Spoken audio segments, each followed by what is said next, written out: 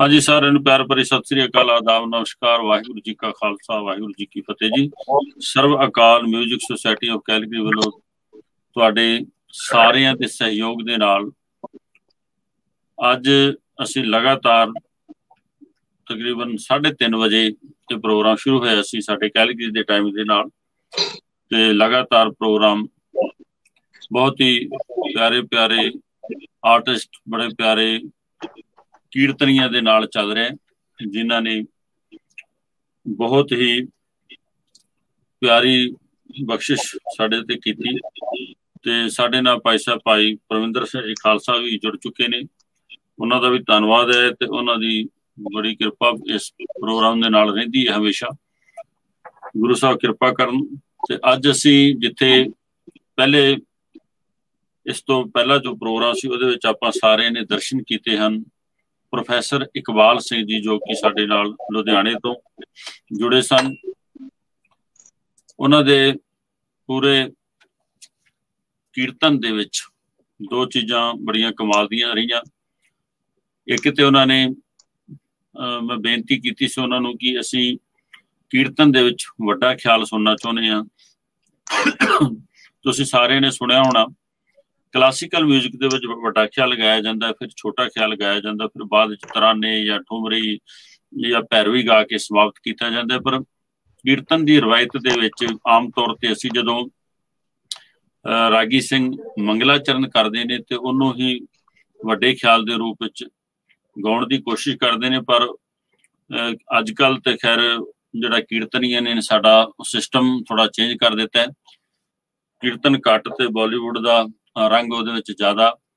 ਉਸ ਪਰੰਪਰਾ ਨੂੰ ਥੋੜਾ ਜਿਹਾ ਤੋੜ ਕੇ ਅੱਜ ਦੇ ਕੀਰਤਨ ਦੇ ਵਿੱਚ ਸਾਨੂੰ ਸੁਣਨ ਨੂੰ ਮਿਲਿਆ, ਜਿੱਥੇ ਪ੍ਰੋਫੈਸਰ ਇਕਬਾਲ ਸਿੰਘ ਜੀ ਨੇ ਤਕਰੀਬਨ 20 ਤੋਂ 25 ਮਿੰਟ ਵੱਡਾ ਖਿਆਲ ਗਾਇਆ, ਜਿਹਦੇ ਵਿੱਚ ਉਹਨਾਂ ਨੇ ਬਹੁਤ ਹੀ ਖੂਬਸੂਰਤੀ ਦੇ ਨਾਲ ਕਲਾਸੀਕਲ ਨੂੰ ਗੁਰਮਤ ਸੰਗੀਤ ਦੇ ਵਿੱਚ ਕਿਸ ਤਰ੍ਹਾਂ ਗਾਇਆ ਜਾਂਦਾ ਹੈ, ਬਹੁਤ ਸੋਹਣਾ ਤੁਹਾਡੇ ਸਾਹਮਣੇ ਰੰਗ ਪੇਸ਼ ਕੀਤਾ, ਬਖਸ਼ਿਸ਼ ਸਤਿਗੁਰੂ ਜੀ ਦੀ ਸਾਨੂੰ ਦਿੱਤੀ।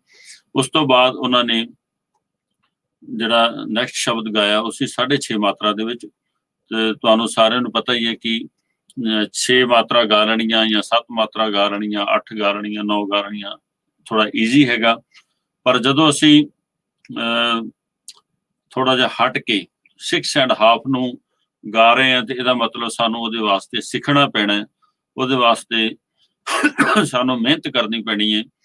ਤੇ ਜਿਹੜੇ ਸੱਜਣ ਮਿਹਨਤ ਕਰਦੇ ਨੇ, ਉਹ ਫਿਰ ਸੱਜਣ ਵਾਕਿਆ ਹੀ ਜਦੋਂ ਪ੍ਰੋਪਰ ਤਰੀਕੇ ਦੇ ਨਾਲ ਸਟੇਜ ਤੇ ਆਪਣਾ ਕੀਰਤਨ ਕਰਦੇ ਨੇ ਜਾਂ ਕਲਾਸੀਕਲ ਗਾਇਨ ਕਰਦੇ ਨੇ, ਉਹਦੇ ਵਿੱਚ ਰੰਗ ਉਸ ਮਾਲਕ ਦਾ ਆਪ ਵਰਸਦਾ, ਉਹਦੀ ਬਖਸ਼ਿਸ਼ ਹੁੰਦੀ ਹੈ।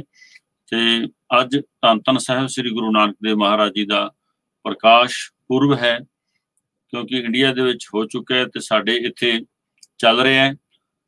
ਜਦੋਂ ਅਸੀਂ ਪ੍ਰੋਗਰਾਮ ਸ਼ੁਰੂਆਤ ਕੀਤਾ ਸੀ ਤਾਂ ਪ੍ਰਭਾਤ ਫੇਰੀ ਤੋਂ ਕੀਤਾ ਸੀ ਤੇ ਬਹੁਤ ਹੀ ਸੋਹਣਾ ਸਾਨੂੰ ਇੰਡੀਆ ਤੋਂ ਪ੍ਰਭਾਤ ਫੇਰੀ ਦਾ ਇੱਕ ਅਸੀਂ ਬਹੁਤ ਸੋਹਣਾ ਪ੍ਰੋਗਰਾਮ ਸੈੱਟ ਕੀਤਾ ਸੀ। ਉਹਨਾਂ ਸਾਰੇ ਸੱਜਣਾ ਨੇ, ਸੰਗਤਾਂ ਨੇ ਬਹੁਤ ਪਿਆਰ ਦੇ ਨਾਲ ਜਿਹੜਾ ਰੰਗ ਆਪਾਂ ਕਦੇ ਇੰਡੀਆ ਦੇ ਵਿੱਚ ਦੇਖਦੇ ਸੀ ਤੇ ਉਹ ਰੰਗ ਹੁਣ ਇੱਥੇ ਨਹੀਂ ਕਿਉਂਕਿ ਇੱਥੇ ਮਜਬੂਰੀਆਂ ਵੀ ਹਨ। ਉਹਨਾਂ ਮਜਬੂਰੀਆਂ ਕਰਕੇ ਇਹ ਚੀਜ਼ ਨਹੀਂ ਹੋ ਸਕਦੀ। ਥੋੜੇ ਦਿਨ ਪਹਿਲਾਂ ਜਦੋਂ ਸੰਗੀਤ ਚਿੰਤਨ ਦਾ ਪ੍ਰੋਗਰਾਮ ਹੋਇਆ ਤੇ ਜਿਹਦੇ ਵਿੱਚ ਮੈਡਮ ਨੀਲਮ ਪਾਲ ਜੀ ਨੇ ਬਹੁਤ ਹੀ ਸੋਹਣੀ ਵਿਆਖਿਆ ਕੀਤੀ ਸੀ ਇਸ ਗਾਇਨ ਤੇ, ਜਿਹੜਾ ਗਾਇਨ ਭਜਨ ਦਾ ਅਤੇ ਜਿਹੜਾ ਗਾਇਨ ਸਾਡਾ ਪ੍ਰਭਾਤ ਫੇਰੀ ਚ ਗਾਇਆ ਜਾਂਦਾ ਹੈ। ਉਹਨਾਂ ਨੇ ਬੜੇ ਸੋਹਣੇ ਢੰਗ ਨਾਲ ਸਾਨੂੰ ਦੱਸਿਆ ਸੀ ਕਿ ਕਿਸ ਤਰ੍ਹਾਂ ਕੁਝ ਚੀਜ਼ਾਂ ਐਸੀਆਂ ਹਨ ਜਿਹੜੀਆਂ ਸਾਨੂੰ ਆਮ ਲੋਕਾਂ ਵਿੱਚੋਂ ਮਿਲੀਆਂ ਆਮ ਲੋਕਾਂ ਦੇ ਵਿੱਚੋਂ ਹੋ ਕੇ ਉਹ ਕਲਾਸੀਕਲ 뮤직 ਦੇ ਵਿੱਚ ਆਈਆਂ, ਗੁਰਮਤ ਸੰਗੀਤ ਦੇ ਵਿੱਚ ਆਈਆਂ, ਤੇ ਉਹਦਾ ਰੰਗ ਇੱਕ ਪ੍ਰਭਾਤ ਫੇਰੀ ਵੀ ਹੈ। ਤੇ ਬਹੁਤ ਖੁਸ਼ੀ ਹੋਈ ਹੈ ਅੱਜ, ਜਿੱਥੇ ਅਸੀਂ ਇਹਨਾਂ ਬਹੁਤ ਵਿਦਵਾਨ ਪੁਰਸ਼ਾਂ ਦੇ ਦਰਸ਼ਨ ਕਰ ਰਹੇ ਹਾਂ, ਉਹਨਾਂ ਦੀ ਗੱਲਬਾਤ ਸੁਣੀ। ਪ੍ਰਭਾਤ ਫੇਰੀ ਤੋਂ ਬਾਅਦ ਬਹੁਤ ਹੀ ਪਿਆਰਾ ਕੀਰਤਨ ਪ੍ਰੋਫੈਸਰ ਇਕਬਾਲ ਸਿੰਘ ਜੀ ਨੇ ਜੋ ਕੀਤਾ, ਵਾਕਈ ਕਮਾਲ ਦਾ ਕੀਰਤਨ ਸੀ। ਤੇ ਉਹਦੇ ਵਿੱਚ ਜਿੱਥੇ ਪ੍ਰੋਫੈਸਰ ਸਾਹਿਬ ਨੇ ਆਪਣੀ ਕੀਰਤਨ ਦੇ ਰੰਗ ਬੰਨੇ ਉੱਥੇ ਨਾਲ ਜੋ ਤਬਲੇ ਤੇ ਸਨ, ਮੇਰਾ ਛੋਟਾ ਵੀਰ ਬਹੁਤ ਹੀ ਵਿਦਵਾਨ ਹੈ, ਬੜੀ ਕਿਰਪਾ ਹੈ। ਵੀਰ ਜਸਦੀਪ ਸਿੰਘ, ਭਾਈ ਇਕਬਾਲ ਸਿੰਘ, ਪ੍ਰੋਫੈਸਰ ਇਕਬਾਲ ਸਿੰਘ ਜੀ ਵੀ ਬਲਾਈਂਡ ਹਨ ਤੇ ਸਾਡੇ ਵੀਰ ਜਸਦੀਪ ਸਿੰਘ ਜੀ ਵੀ ਬਲਾਈਂਡ ਕੀਰਤਨੀ ਹਨ। ਪਰ ਸਤਿਗੁਰੂ ਜੀ ਨੇ ਉਹਨਾਂ ਨੂੰ ਜੋ ਤੀਸਰਾ ਨੇਤਰ ਬਖਸ਼ਿਸ਼ ਕੀਤਾ ਹੈ ਉਹ ਬੜਾ ਕਮਾਲ ਦਾ ਬਖਸ਼ਿਸ਼ ਕੀਤਾ ਹੈ।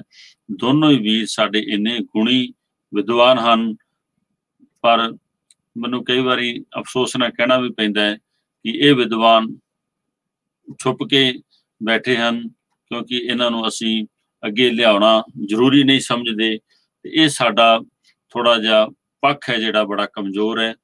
ਅਸੀਂ ਬੜੇ ਖੁਸ਼ਕਿਸਮਤ ਹਾਂ डॉक्टर नमन तिवारी जी हमारे साथ जुड़े हैं डॉक्टर साहब बहुत बहुत शुक्रिया बहुत बहुत धन्यवाद आपका आप हमेशा इस प्रोग्राम का हिस्सा रहते हो और अपना आशीर्वाद देते हो बहुत बहुत शुक्रिया प्रोफेसर अमरीक सिंह जी फुल साहब भी जुड़े हुए हैं ਤੇ ਭਾਈ ਸਾਹਿਬ ਭਾਈ ਪਰਵਿੰਦਰ ਸਿੰਘ ਜੀ ਖਾਲਸਾ ਇਹ ਸਾਰੇ ਬੜੇ ਵਿਦਵਾਨ ਪੁਰਸ਼ ਹਨ ਜਿਨ੍ਹਾਂ ਤੇ ਸਤਿਗੁਰੂ ਜੀ ਦੀ ਬੜੀ ਕਿਰਪਾ ਹੈ ਹੁਣ ਆਪਾਂ ਅੱਜ ਦੇ ਇਸ ਪ੍ਰੋਗਰਾਮ ਦੇ ਵਿੱਚ ਸਾਡੇ ਨਾਲ ਜੁੜੇ ਹਨ ਡਾਕਟਰ ਗੁਰਵਿੰਦਰ ਸਿੰਘ ਜੀ ਥਾਲੀਵਾਲ ਸਾਹਿਬ ਤੇ ਅਸੀਂ ਹੁਣ ਉਹਨਾਂ ਨੂੰ ਰਿਕੁਐਸਟ ਕਰਦੇ ਹਾਂ ਜਿੱਥੇ ਡਾਕਟਰ ਸਾਹਿਬ ਜੁੜੇ ਨੇ, ਉੱਥੇ ਸਾਡੇ ਨਾਲ ਸਰਦਾਰ ਭੁਪਿੰਦਰ ਸਿੰਘ ਜੀ ਮੱਲੀ ਸਾਹਿਬ ਵੀ ਜੁੜੇ ਹੋਏ ਹਨ। ਤਾਂ ਆਪਾਂ ਰਿਕੁਐਸਟ ਕਰਦੇ ਹਾਂ ਕਿ ਗੁਰੂ ਨਾਨਕ ਦੇਵ ਜੀ ਮਹਾਰਾਜ ਜੀ ਦੇ ਇਸ ਪਾਵਨ ਪੂਰਬ ਤੇ ਡਾਕਟਰ ਗੁਰਵਿੰਦਰ ਸਿੰਘ ਜੀ ਜੋ ਵਿਚਾਰ ਸਾਡੇ ਸਾਰਿਆਂ ਦੇ ਸਾਹਮਣੇ ਰੱਖਣਗੇ। ਅਸੀਂ ਬੜੇ ਪਿਆਰ ਦੇ ਨਾਲ ਉਹਨਾਂ ਦੀ ਵਿਚਾਰ, ਉਹਨਾਂ ਨੇ ਜੋ ਇਹ ਉਪਦੇਸ਼ ਜੋ ਸਤਿਗੁਰੂ ਪਾਤਸ਼ਾਹ ਜੀ ਦਾ ਹੈ ਸੱਚ ਤੇ ਹੱਕ ਤੇ ਸੱਚ ਦਾ ਉਹ ਸਾਡੇ ਸਾਹਮਣੇ ਰੱਖਣਗੇ ਤੇ ਉਹ ਬਾਬਾ ਜਿਹੜਾ ਗਰੀਬਾਂ ਦਾ ਯਾਰ ਕਿਉਂਕਿ ਸਤਿਗੁਰੂ ਮੇਰਾ ਆਪ ਕਹਿੰਦਾ ਹੈ, ਸੁਣ ਯਾਰ ਹਮਾਰੇ ਸੱਜਣ, ਇੱਕ ਕਰੋ ਬੇਨਤੀਆਂ, ਬਹੁਤ ਸਾਰੀਆਂ ਬਖਸ਼ਿਸ਼ਾਂ। ਉਹ ਬਾਪੂ, ਜਿਹੜਾ ਕਿਸਾਨਾਂ ਦਾ ਬੇਲੀ, ਮਜ਼ਦੂਰਾਂ ਦਾ ਯਾਰ, ਕਿਉਂਕਿ ਉਹ ਜਾਂਦਾ ਹੀ ਉੱਥੇ ਰਿਹਾ ਜਿੱਥੇ ਵਿਚਾਰੇ ਮੇਰੇ ਵਰਗੇ ਇਨਸਾਨ ਜਾਂ ਤੁਹਾਡੇ ਵਰਗੇ ਇਨਸਾਨ, ਮਹਾਂਪੁਰਸ਼ ਰਹਿੰਦੇ ਸਨ, ਜਿਹੜੇ ਮਹਾਂਪੁਰਸ਼ ਅੱਜ ਆਪਣੇ ਹੱਕ ਸੱਚ ਦੀ ਲੜਾਈ ਲੜ ਰਹੇ ਹਨ ਜਿਨ੍ਹਾਂ ਨੂੰ ਅਸੀਂ ਸੱਚੇ ਸੁੱਚੇ ਸੰਤ ਕਹਿ ਸਕਦੇ ਹਾਂ। ਤੇ ਇੱਕ ਸੰਤ ਉਹ ਹੁੰਦੇ ਨੇ ਜਿਹੜੇ ਆਪਣੇ ਦਰਬਾਰਾਂ ਵਿੱਚ ਬੈਠ ਕੇ ਆਨੰਦ ਲੈ ਰਹੇ ਹਨ। ਤੇ ਇੱਕ ਸੰਤ ਉਹ ਨੇ ਜਿਹੜੇ ਆਪਦੇ ਹੱਕ ਤੇ ਸੱਚ ਦੀ ਲੜਾਈ ਵਾਸਤੇ ਰੋੜਾਂ ਤੇ ਸਾਡੇ ਇੱਕ ਜਵਾਨ ਸਾਡੇ ਦੇਸ਼ ਦਾ ਜਿਹੜਾ ਬਾਰਡਰ ਤੇ ਵਿਚਾਰਾ ਸ਼ਹੀਦ ਹੁੰਦਾ ਹੈ, ਸਾਡੀ ਰੱਖਿਆ ਵਾਸਤੇ, ਸਾਡੇ ਬੱਚੇ ਸੁੱਖ ਦਾ ਸਾਹ ਲੈਣ ਸਾਡੇ ਵਾਸਤੇ ਤੇ ਇੱਕ ਜਿਹੜਾ ਸਾਡਾ ਅਨਦਾਤਾ ਕਿਸਾਨ ਹੈ, ਕਿਉਂਕਿ ਇੱਥੇ ਗੁਰੂ ਨਾਨਕ ਪਾਤਸ਼ਾਹ ਜੀ ਦੇ ਪੂਰਬ ਦੀ ਅਸੀਂ ਗੱਲਬਾਤ ਕਰਨੀ ਹੈ, ਤੇ ਮੇਰਾ ਗੁਰੂ ਨਾਨਕ ਪਾਤਸ਼ਾਹ ਉਹਨਾਂ ਦਾ ਯਾਰ ਹੈ, ਉਹਨਾਂ ਦਾ ਦੋਸਤ ਹੈ, ਉਹਨਾਂ ਦੀ ਮਾਤਾ ਹੈ, ਉਹਨਾਂ ਦਾ ਪਿਤਾ ਹੈ। ਆਪਾਂ ਵਿਚਾਰ ਸਰਵਣ ਕਰਦੇ ਹਾਂ ਜੀ। ਸਤਕਾਰਯੋਗ ਡਾਕਟਰ ਗੁਰਵਿੰਦਰ ਸਿੰਘ ਜੀ ਤਾਲੀਵਾਲ ਸਾਹਿਬ, ਡਾਕਟਰ ਸਾਹਿਬ, ਆਪ ਜੀ ਦਾ ਬਹੁਤ ਬਹੁਤ ਧੰਨਵਾਦ ਹੈ ਤੇ ਸਰਬ ਅਕਾਲ ਲਾਈਵ ਪ੍ਰੋਗਰਾਮ ਦੇ ਵਿੱਚ ਆਪ ਜੀ ਦਾ ਵੈਲਕਮ ਹੈ। ਪਲੀਜ਼ ਆਓ ਤੇ ਅਗਲੀ ਜੋ ਗੱਲਬਾਤ ਹੈ ਸਾਡੇ ਸਰੋਤਿਆਂ ਦੇ ਨਾਲ ਸਾਂਝੀ ਕਰੋ ਜੀ। ਬਹੁਤ ਬਹੁਤ ਧੰਨਵਾਦ। ਆਪ ਜੀ ਨੇ ਟਾਈਮ ਕੱਢਿਆ ਸਾਡੇ ਵਾਸਤੇ। ਬਹੁਤ ਬਹੁਤ ਧੰਨਵਾਦ। ਆਪਣਾ ਮਾਈਕ ਅਨਮਿਊਟ ਹਾਂ ਹੋ ਗਿਆ ਜੀ ਹੋ ਗਿਆ। ਹਾਂਜੀ। ਵਾਹਿਗੁਰੂ ਜੀ ਕਾ ਖਾਲਸਾ ਵਾਹਿਗੁਰੂ। ਜੀ ਕੀ ਫਤਿਹ। ਇਹਨਾਂ ਦਾ ਆਪ ਸਾਰੇ ਜਿੰਨੇ ਉਪਰਾਲੇ ਕਰ ਰਹੇ ਹੋ ਬਹੁਤ ਧੰਨਵਾਦ ਜੀ ਇਸ ਗੱਲ ਦਾ ਕਿ ਐਡਾ ਸ਼ਾਨਦਾਰ ਯਤਨ ਕਿ ਗੁਰੂ ਸਾਹਿਬ ਦੇ ਆਗਮਨ ਪੁਰਬ ਨੂੰ ਮਨਾਉਂਦਿਆਂ ਹੋਇਆ ਇਹਨਾਂ ਵਿਚਾਰਾਂ ਦੀ ਸਾਂਝ ਪਾਉਣੀ ਸਰਬ ਅਕਾਲ ਅਕੈਡਮੀ ਦੇ ਵੱਲੋਂ 뮤직 ਤੇ ਨੁਕਤੇ ਨਿਗਾਹ ਤੇ ਜਿਵੇਂ ਤੁਸੀਂ ਪਹਿਲਾਂ ਪਰਿਭਾਸ਼ਾ ਵੀ ਦਿੱਤੀ ਹੈ ਕਿ ਅੱਜ ਜਿਹੜਾ ਗੁਰਮਤ ਸੰਗੀਤ ਹੈ ਜਿਹੜਾ ਅਸਲ 'ਚ ਸਾਨੂੰ ਬਖਸ਼ਿਆ ਸਤਿਗੁਰੂ ਨੇ ਬੜੀ ਮਿਹਰ ਕੀਤੀ ਹੈ। ਗੁਰਮਤ ਸੰਗੀਤ ਦੀ ਬੜੀ ਵੱਖਰੀ ਪਰਿਭਾਸ਼ਾ ਪਰ ਅੱਜ ਉਹ ਬਾਲੀਵੁੱਡ ਸੰਗੀਤ 'ਚ ਬਦਲਦਾ ਜਾ ਰਿਹਾ ਹੈ। ਇਸ ਤੋਂ ਮੁੜ ਇਸ ਨੂੰ ਆਪਣੀਆਂ ਲੀਹਾਂ ਤੇ ਲਿਆਉਣ ਲਈ ਇਹ ਉਦਮ ਕਰ ਰਹੇ ਹੋ। ਲਗਾਤਾਰ ਅੱਜ ਦਾ ਵੀ ਜਿਹੜਾ ਤੁਹਾਡਾ ਪ੍ਰੋਗਰਾਮ ਹੈ ਜਿਵੇਂ ਪਹਿਲਾਂ ਜ਼ਿਕਰ ਤੁਸੀਂ ਕੀਤਾ ਸੀ ਕਿ ਵੱਖ-ਵੱਖ ਸੁਰਵਾਦਕ ਜਿਹੜੇ ਨੇ ਵੱਖ-ਵੱਖ ਕਿਸਮ ਦੇ ਜਿਹੜੇ ਸੰਗੀਤ ਦੀਆਂ ਛੋਹਾਂ ਨੇ ਉਥੋਂ ਜਿਹੜਾ ਇਸ ਨੂੰ ਆਰੰਭ ਕਰਕੇ ਉੱਥੇ ਹੀ ਸਮਾਪਤ ਕਰਨਾ ਹੈ। ਤੇ ਮੈਂ ਇਸ ਗੱਲ ਦੇ ਲਈ ਸ਼ੁਰੂਆਤ ਵੀ ਕਰਦਾ ਹਾਂ ਕਿ ਪਿਛਲੇ ਸਾਲ 550 ਸਾਲਾਂ ਤੇ ਅਸੀਂ ਇੱਕ ਕਿਤਾਬ ਜਿਹੜੀ ਹੈ ਉਹ ਜਾਰੀ ਕੀਤੀ ਸੀ। ਤੇ ਮਲੀ ਸਾਹਿਬ ਜਾਣਦੇ ਨੇ ਇੱਥੇ ਸਰੀ 'ਚ 550 ਸਾਲਾਂ ਤੇ ਉਸ ਦਾ ਨਾਂ ਹੀ ਰੱਖਿਆ ਸੀ ਗੁਰੂ ਨਾਨਕ ਦਰਸ਼ਨ ਰਬਾਬ ਤੋਂ ਨਗਾਰੀ ਤੱਕ। ਸੋ ਇਹ ਰਬਾਬ ਤੋਂ ਨਗਾਰੀ ਤੱਕ ਦਾ ਜਿਹੜਾ ਸੰਕਲਪ ਹੈ ਉਹ ਦਰਸਲ ਹੈ ਹੀ ਇਹ ਸੀ ਕਿ ਗੁਰੂ ਨਾਨਕ ਸਾਹਿਬ ਨੇ ਬਾਬਾ ਮਰਦਾਨਾ ਜੀ ਨੂੰ ਰਬਾਬ ਬਖਸ਼ੀ ਤੇ ਬਾਣੀ ਆਈ ਆ ਦਾ ਜਿਹੜਾ ਸੰਕਲਪ ਅਸੀਂ ਅਕਸਰ ਕਹਿੰਦੇ ਆ ਕਿ ਮਰਦਾਨਿਆ ਰਬਾਬ ਵਜਾ ਬਾਣੀ ਆਈ ਹੈ। ਸੋ ਇਹ ਇੰਨਾ ਡੂੰਘਾ ਰਿਸ਼ਤਾ ਹੈ ਤੇ ਬਾਬੇ ਨਾਨਕ ਨੂੰ ਉਦੋਂ ਤੱਕ ਜਾਣਿਆ ਨਹੀਂ ਜਾ ਸਕਦਾ ਜਦੋਂ ਤੱਕ ਰਬਾਬੀ ਮਰਦਾਨਾ ਜੀ ਬਾਰੇ ਅਸੀਂ ਗੱਲ ਨਾ ਕਰੀਏ। ਇੱਕ ਕਾਲ ਰੂਪ ਦੂਜਾ ਰਬਾਬੀ ਮਰਦਾਨਾ। ਯਕੀਨਨ ਤੌਰ ਤੇ ਮਰਦਾਨਾ ਜੀ ਦਾ ਸਤਕਾਰ ਜਿਹੜਾ ਉਸ ਰਬਾਬੀਏ ਦਾ ਸਤਕਾਰ ਜਿਹੜਾ ਕਿ ਸਾਰੀ ਜ਼ਿੰਦਗੀ ਗੁਰੂ ਸਾਹਿਬ ਨਾਲ ਰਿਹਾ। ਚੌਥੀ ਉਦਾਸੀ ਤੋਂ ਜਦੋਂ ਵਾਪਸ ਪਰਤ ਰਹੇ ਸਨ ਤੇ ਰਸਤੇ ਦੇ ਵਿੱਚ ਅਫਗਾਨਿਸਤਾਨ ਨੇੜੇ ਆ ਕੇ ਆਖਰੀ ਸਾਹ ਲਏ ਤੇ ਗੁਰੂ ਸਾਹਿਬ ਨੇ ਗਲਵਕੜੀ ਚ ਲਿਆ, ਪਿਆਰ ਦਿੱਤਾ। ਤੇ ਉਸ ਪਿਆਰ ਦਾ ਜਿਹੜਾ ਸਬੂਤ ਸੀ ਕਿ ਮਰਦਾਨਾ ਜੀ ਨੂੰ ਆਪਣੇ ਹਮੇਸ਼ਾ ਹੀ ਅੰਗ ਸੰਗ ਲਾ ਕੇ ਰੱਖਿਆ। ਜਦੋਂ ਵਾਪਸ ਪਰਤੇ ਤਲਵੰਡੀ ਤੇ ਮਰਦਾਨੇ ਦਾ ਫਰਜ਼ੰਦ ਆਇਆ, ਕਹਿੰਦਾ, ਮੇਰਾ ਅੱਬਾ ਕਿੱਥੇ ਹੈ? ਤਾਂ ਗੁਰੂ ਸਾਹਿਬ ਨੇ ਬੜੇ ਪਿਆਰ ਨਾਲ ਉਹ ਰਬਾਬ ਜਿਹੜੀ ਹੈ ਉਸ ਦੇ ਬੇਟੇ ਨੂੰ ਦੇ ਕੇ ਕਿਹਾ ਆਹੀ ਆਖਰੀ ਜਿਹੜੀ ਸੌਗਾਤ ਹੈ ਤੇ ਇਹਦੇ ਵਿੱਚ ਹੀ ਤੇਰਾ ਪਿਤਾ ਅੱਬਾ ਹੈ। ਉਸ ਤੋਂ ਬਾਅਦ ਉਹ ਦਿਨ ਗਿਆ ਤੇ ਆ ਦਿਨ ਆਇਆ ਮਰਦਾਨੇ ਕੇ ਜਿਹੜੇ ਨੇ ਵੱਜਦੇ ਨੇ ਸੰਗੀਤ ਜਿਨ੍ਹਾਂ ਨੇ ਸੰਭਾਲਿਆ ਦੇਸ਼ ਵੰਡਿਆ ਗਿਆ ਅਲੱਗ-ਅਲੱਗ ਜਿਹੜੀਆਂ ਸਾਡੇ ਇਹ ਜਿਹੜੀਆਂ ਡਿਵੀਜ਼ਨ ਹੋਈਆਂ ਦਰਅਸਲ ਇਹ ਜਿਸ ਤਰ੍ਹਾਂ ਦੀ ਵੰਡ ਹੋਈ ਉਸ ਦੇ ਵਿੱਚ ਸਾਡੇ ਕੋਲ ਜਨਮ ਸਥਾਨ ਨਨਕਾਣਾ ਸਾਹਿਬ ਖੋਇਆ ਗਿਆ। ਸਾਡੇ ਕੋਲ ਮਰਦਾਨਾ ਖੋਇਆ ਗਿਆ। ਮੈਨੂੰ ਡਾਕਟਰ ਹਰਭਜਨ ਸਿੰਘ ਜੀ ਦੀ ਉਹ ਕਵਿਤਾ ਅੱਜ ਵੀ ਯਾਦ ਆਉਂਦੀ ਹੈ। ਉਹਨਾਂ ਦਾ ਸ਼ਤਾਬਦੀ ਵਰਾ ਜਨਮ ਵਰਾ ਦਿੱਲੀ ਵਾਲੇ ਡਾਕਟਰ ਹਰਭਜਨ ਸਿੰਘ ਜੀ। ਉਹਨਾਂ ਦੀ ਇੱਕ ਨਜ਼ਮ ਹੈ ਬੜੀ ਪਿਆਰੀ। ਉਹ ਨਜ਼ਮ ਕਾਫੀ ਲੰਮੀ ਹੈ ਉਹਦੇ ਚੋਂ ਦੋ ਲਫ਼ਜ਼ ਮੈਂ ਸਾਂਝੇ ਕਰਦਾ। ਉਹ ਲਫ਼ਜ਼ ਹੈ ਮਰਦਾਨਾ ਬੋਲਦਾ ਹੈ। ਵਾਹ। ਤੇ ਉਸ ਦੇ ਵਿੱਚ ਉਹ ਲਿਖਦੇ ਨੇ ਕਿ ਮੇਰੇ ਨਾਨਕ ਨੂੰ ਮੇਰੇ ਤੋਂ ਵੱਖ ਕਿਨੇ ਕਰ ਦਿੱਤਾ ਹੈ? ਮੈਂ ਇਕੱਲਾ ਰਹਿ ਗਿਆ। ਬੜੇ ਸੋਹਣੇ ਢੰਗ ਦੇ ਨਾਲ ਨਾਨਕ ਜੀ ਵੱਲੋਂ ਇਹ ਪ੍ਰੇਰਿਤ ਕਰਦੇ ਹੋਏ ਲਿਖਦੇ ਨੇ। ਗੁਰੂ ਸਾਹਿਬ ਜਦੋਂ ਇਹ ਫਰਮਾਨ ਕਰਦੇ ਨੇ ਕਿ ਮੇਰਾ ਮਰਦਾਨਾ ਕਿੱਥੇ ਗਿਆ ਤਾਂ ਫਿਰ ਇਸ ਗੱਲ ਨੂੰ ਡਾਕਟਰ ਹਰਭਜਨ ਸਿੰਘ ਬਿਆਨ ਕਰਦੇ ਲਿਖਦੇ ਨੇ ਸਫ਼ਰ ਨੂੰ ਮੰਜ਼ਲ ਨਹੀਂ ਪਿਆਸ ਲਈ ਪਾਣੀ ਨਹੀਂ। ਸਫ਼ਰ ਨੂੰ ਮੰਜ਼ਲ ਨਹੀਂ ਪਿਆਸ ਲਈ ਪਾਣੀ ਨਹੀਂ ਮੈਂ ਆਪਣੇ ਯਾਰ ਦੀ ਨਗਰੀ 'ਚ ਹੀ ਬੇਯਾਰ ਫਿਰਦਾ ਹਾਂ। ਹਾਂ ਹਾਂ ਕੀ ਬਾਤ ਹੈ ਵਾਹ। ਸੋ ਇਹ ਗੱਲ ਜਿਹੜੀ ਸੰਗੀਤ ਵਾਲੀ ਹੈ ਇਹ ਮੈਂ ਇਸ ਪਰਿਭਾਸ਼ਾ ਚੋਂ ਸਰਬਕਾਲ ਅਕੈਡਮੀ ਦੇ ਉਦਮ ਉਪਰਾਲਿਆਂ ਚੋਂ ਸਾਂਝੀ ਕਰ ਰਿਹਾ ਹਾਂ।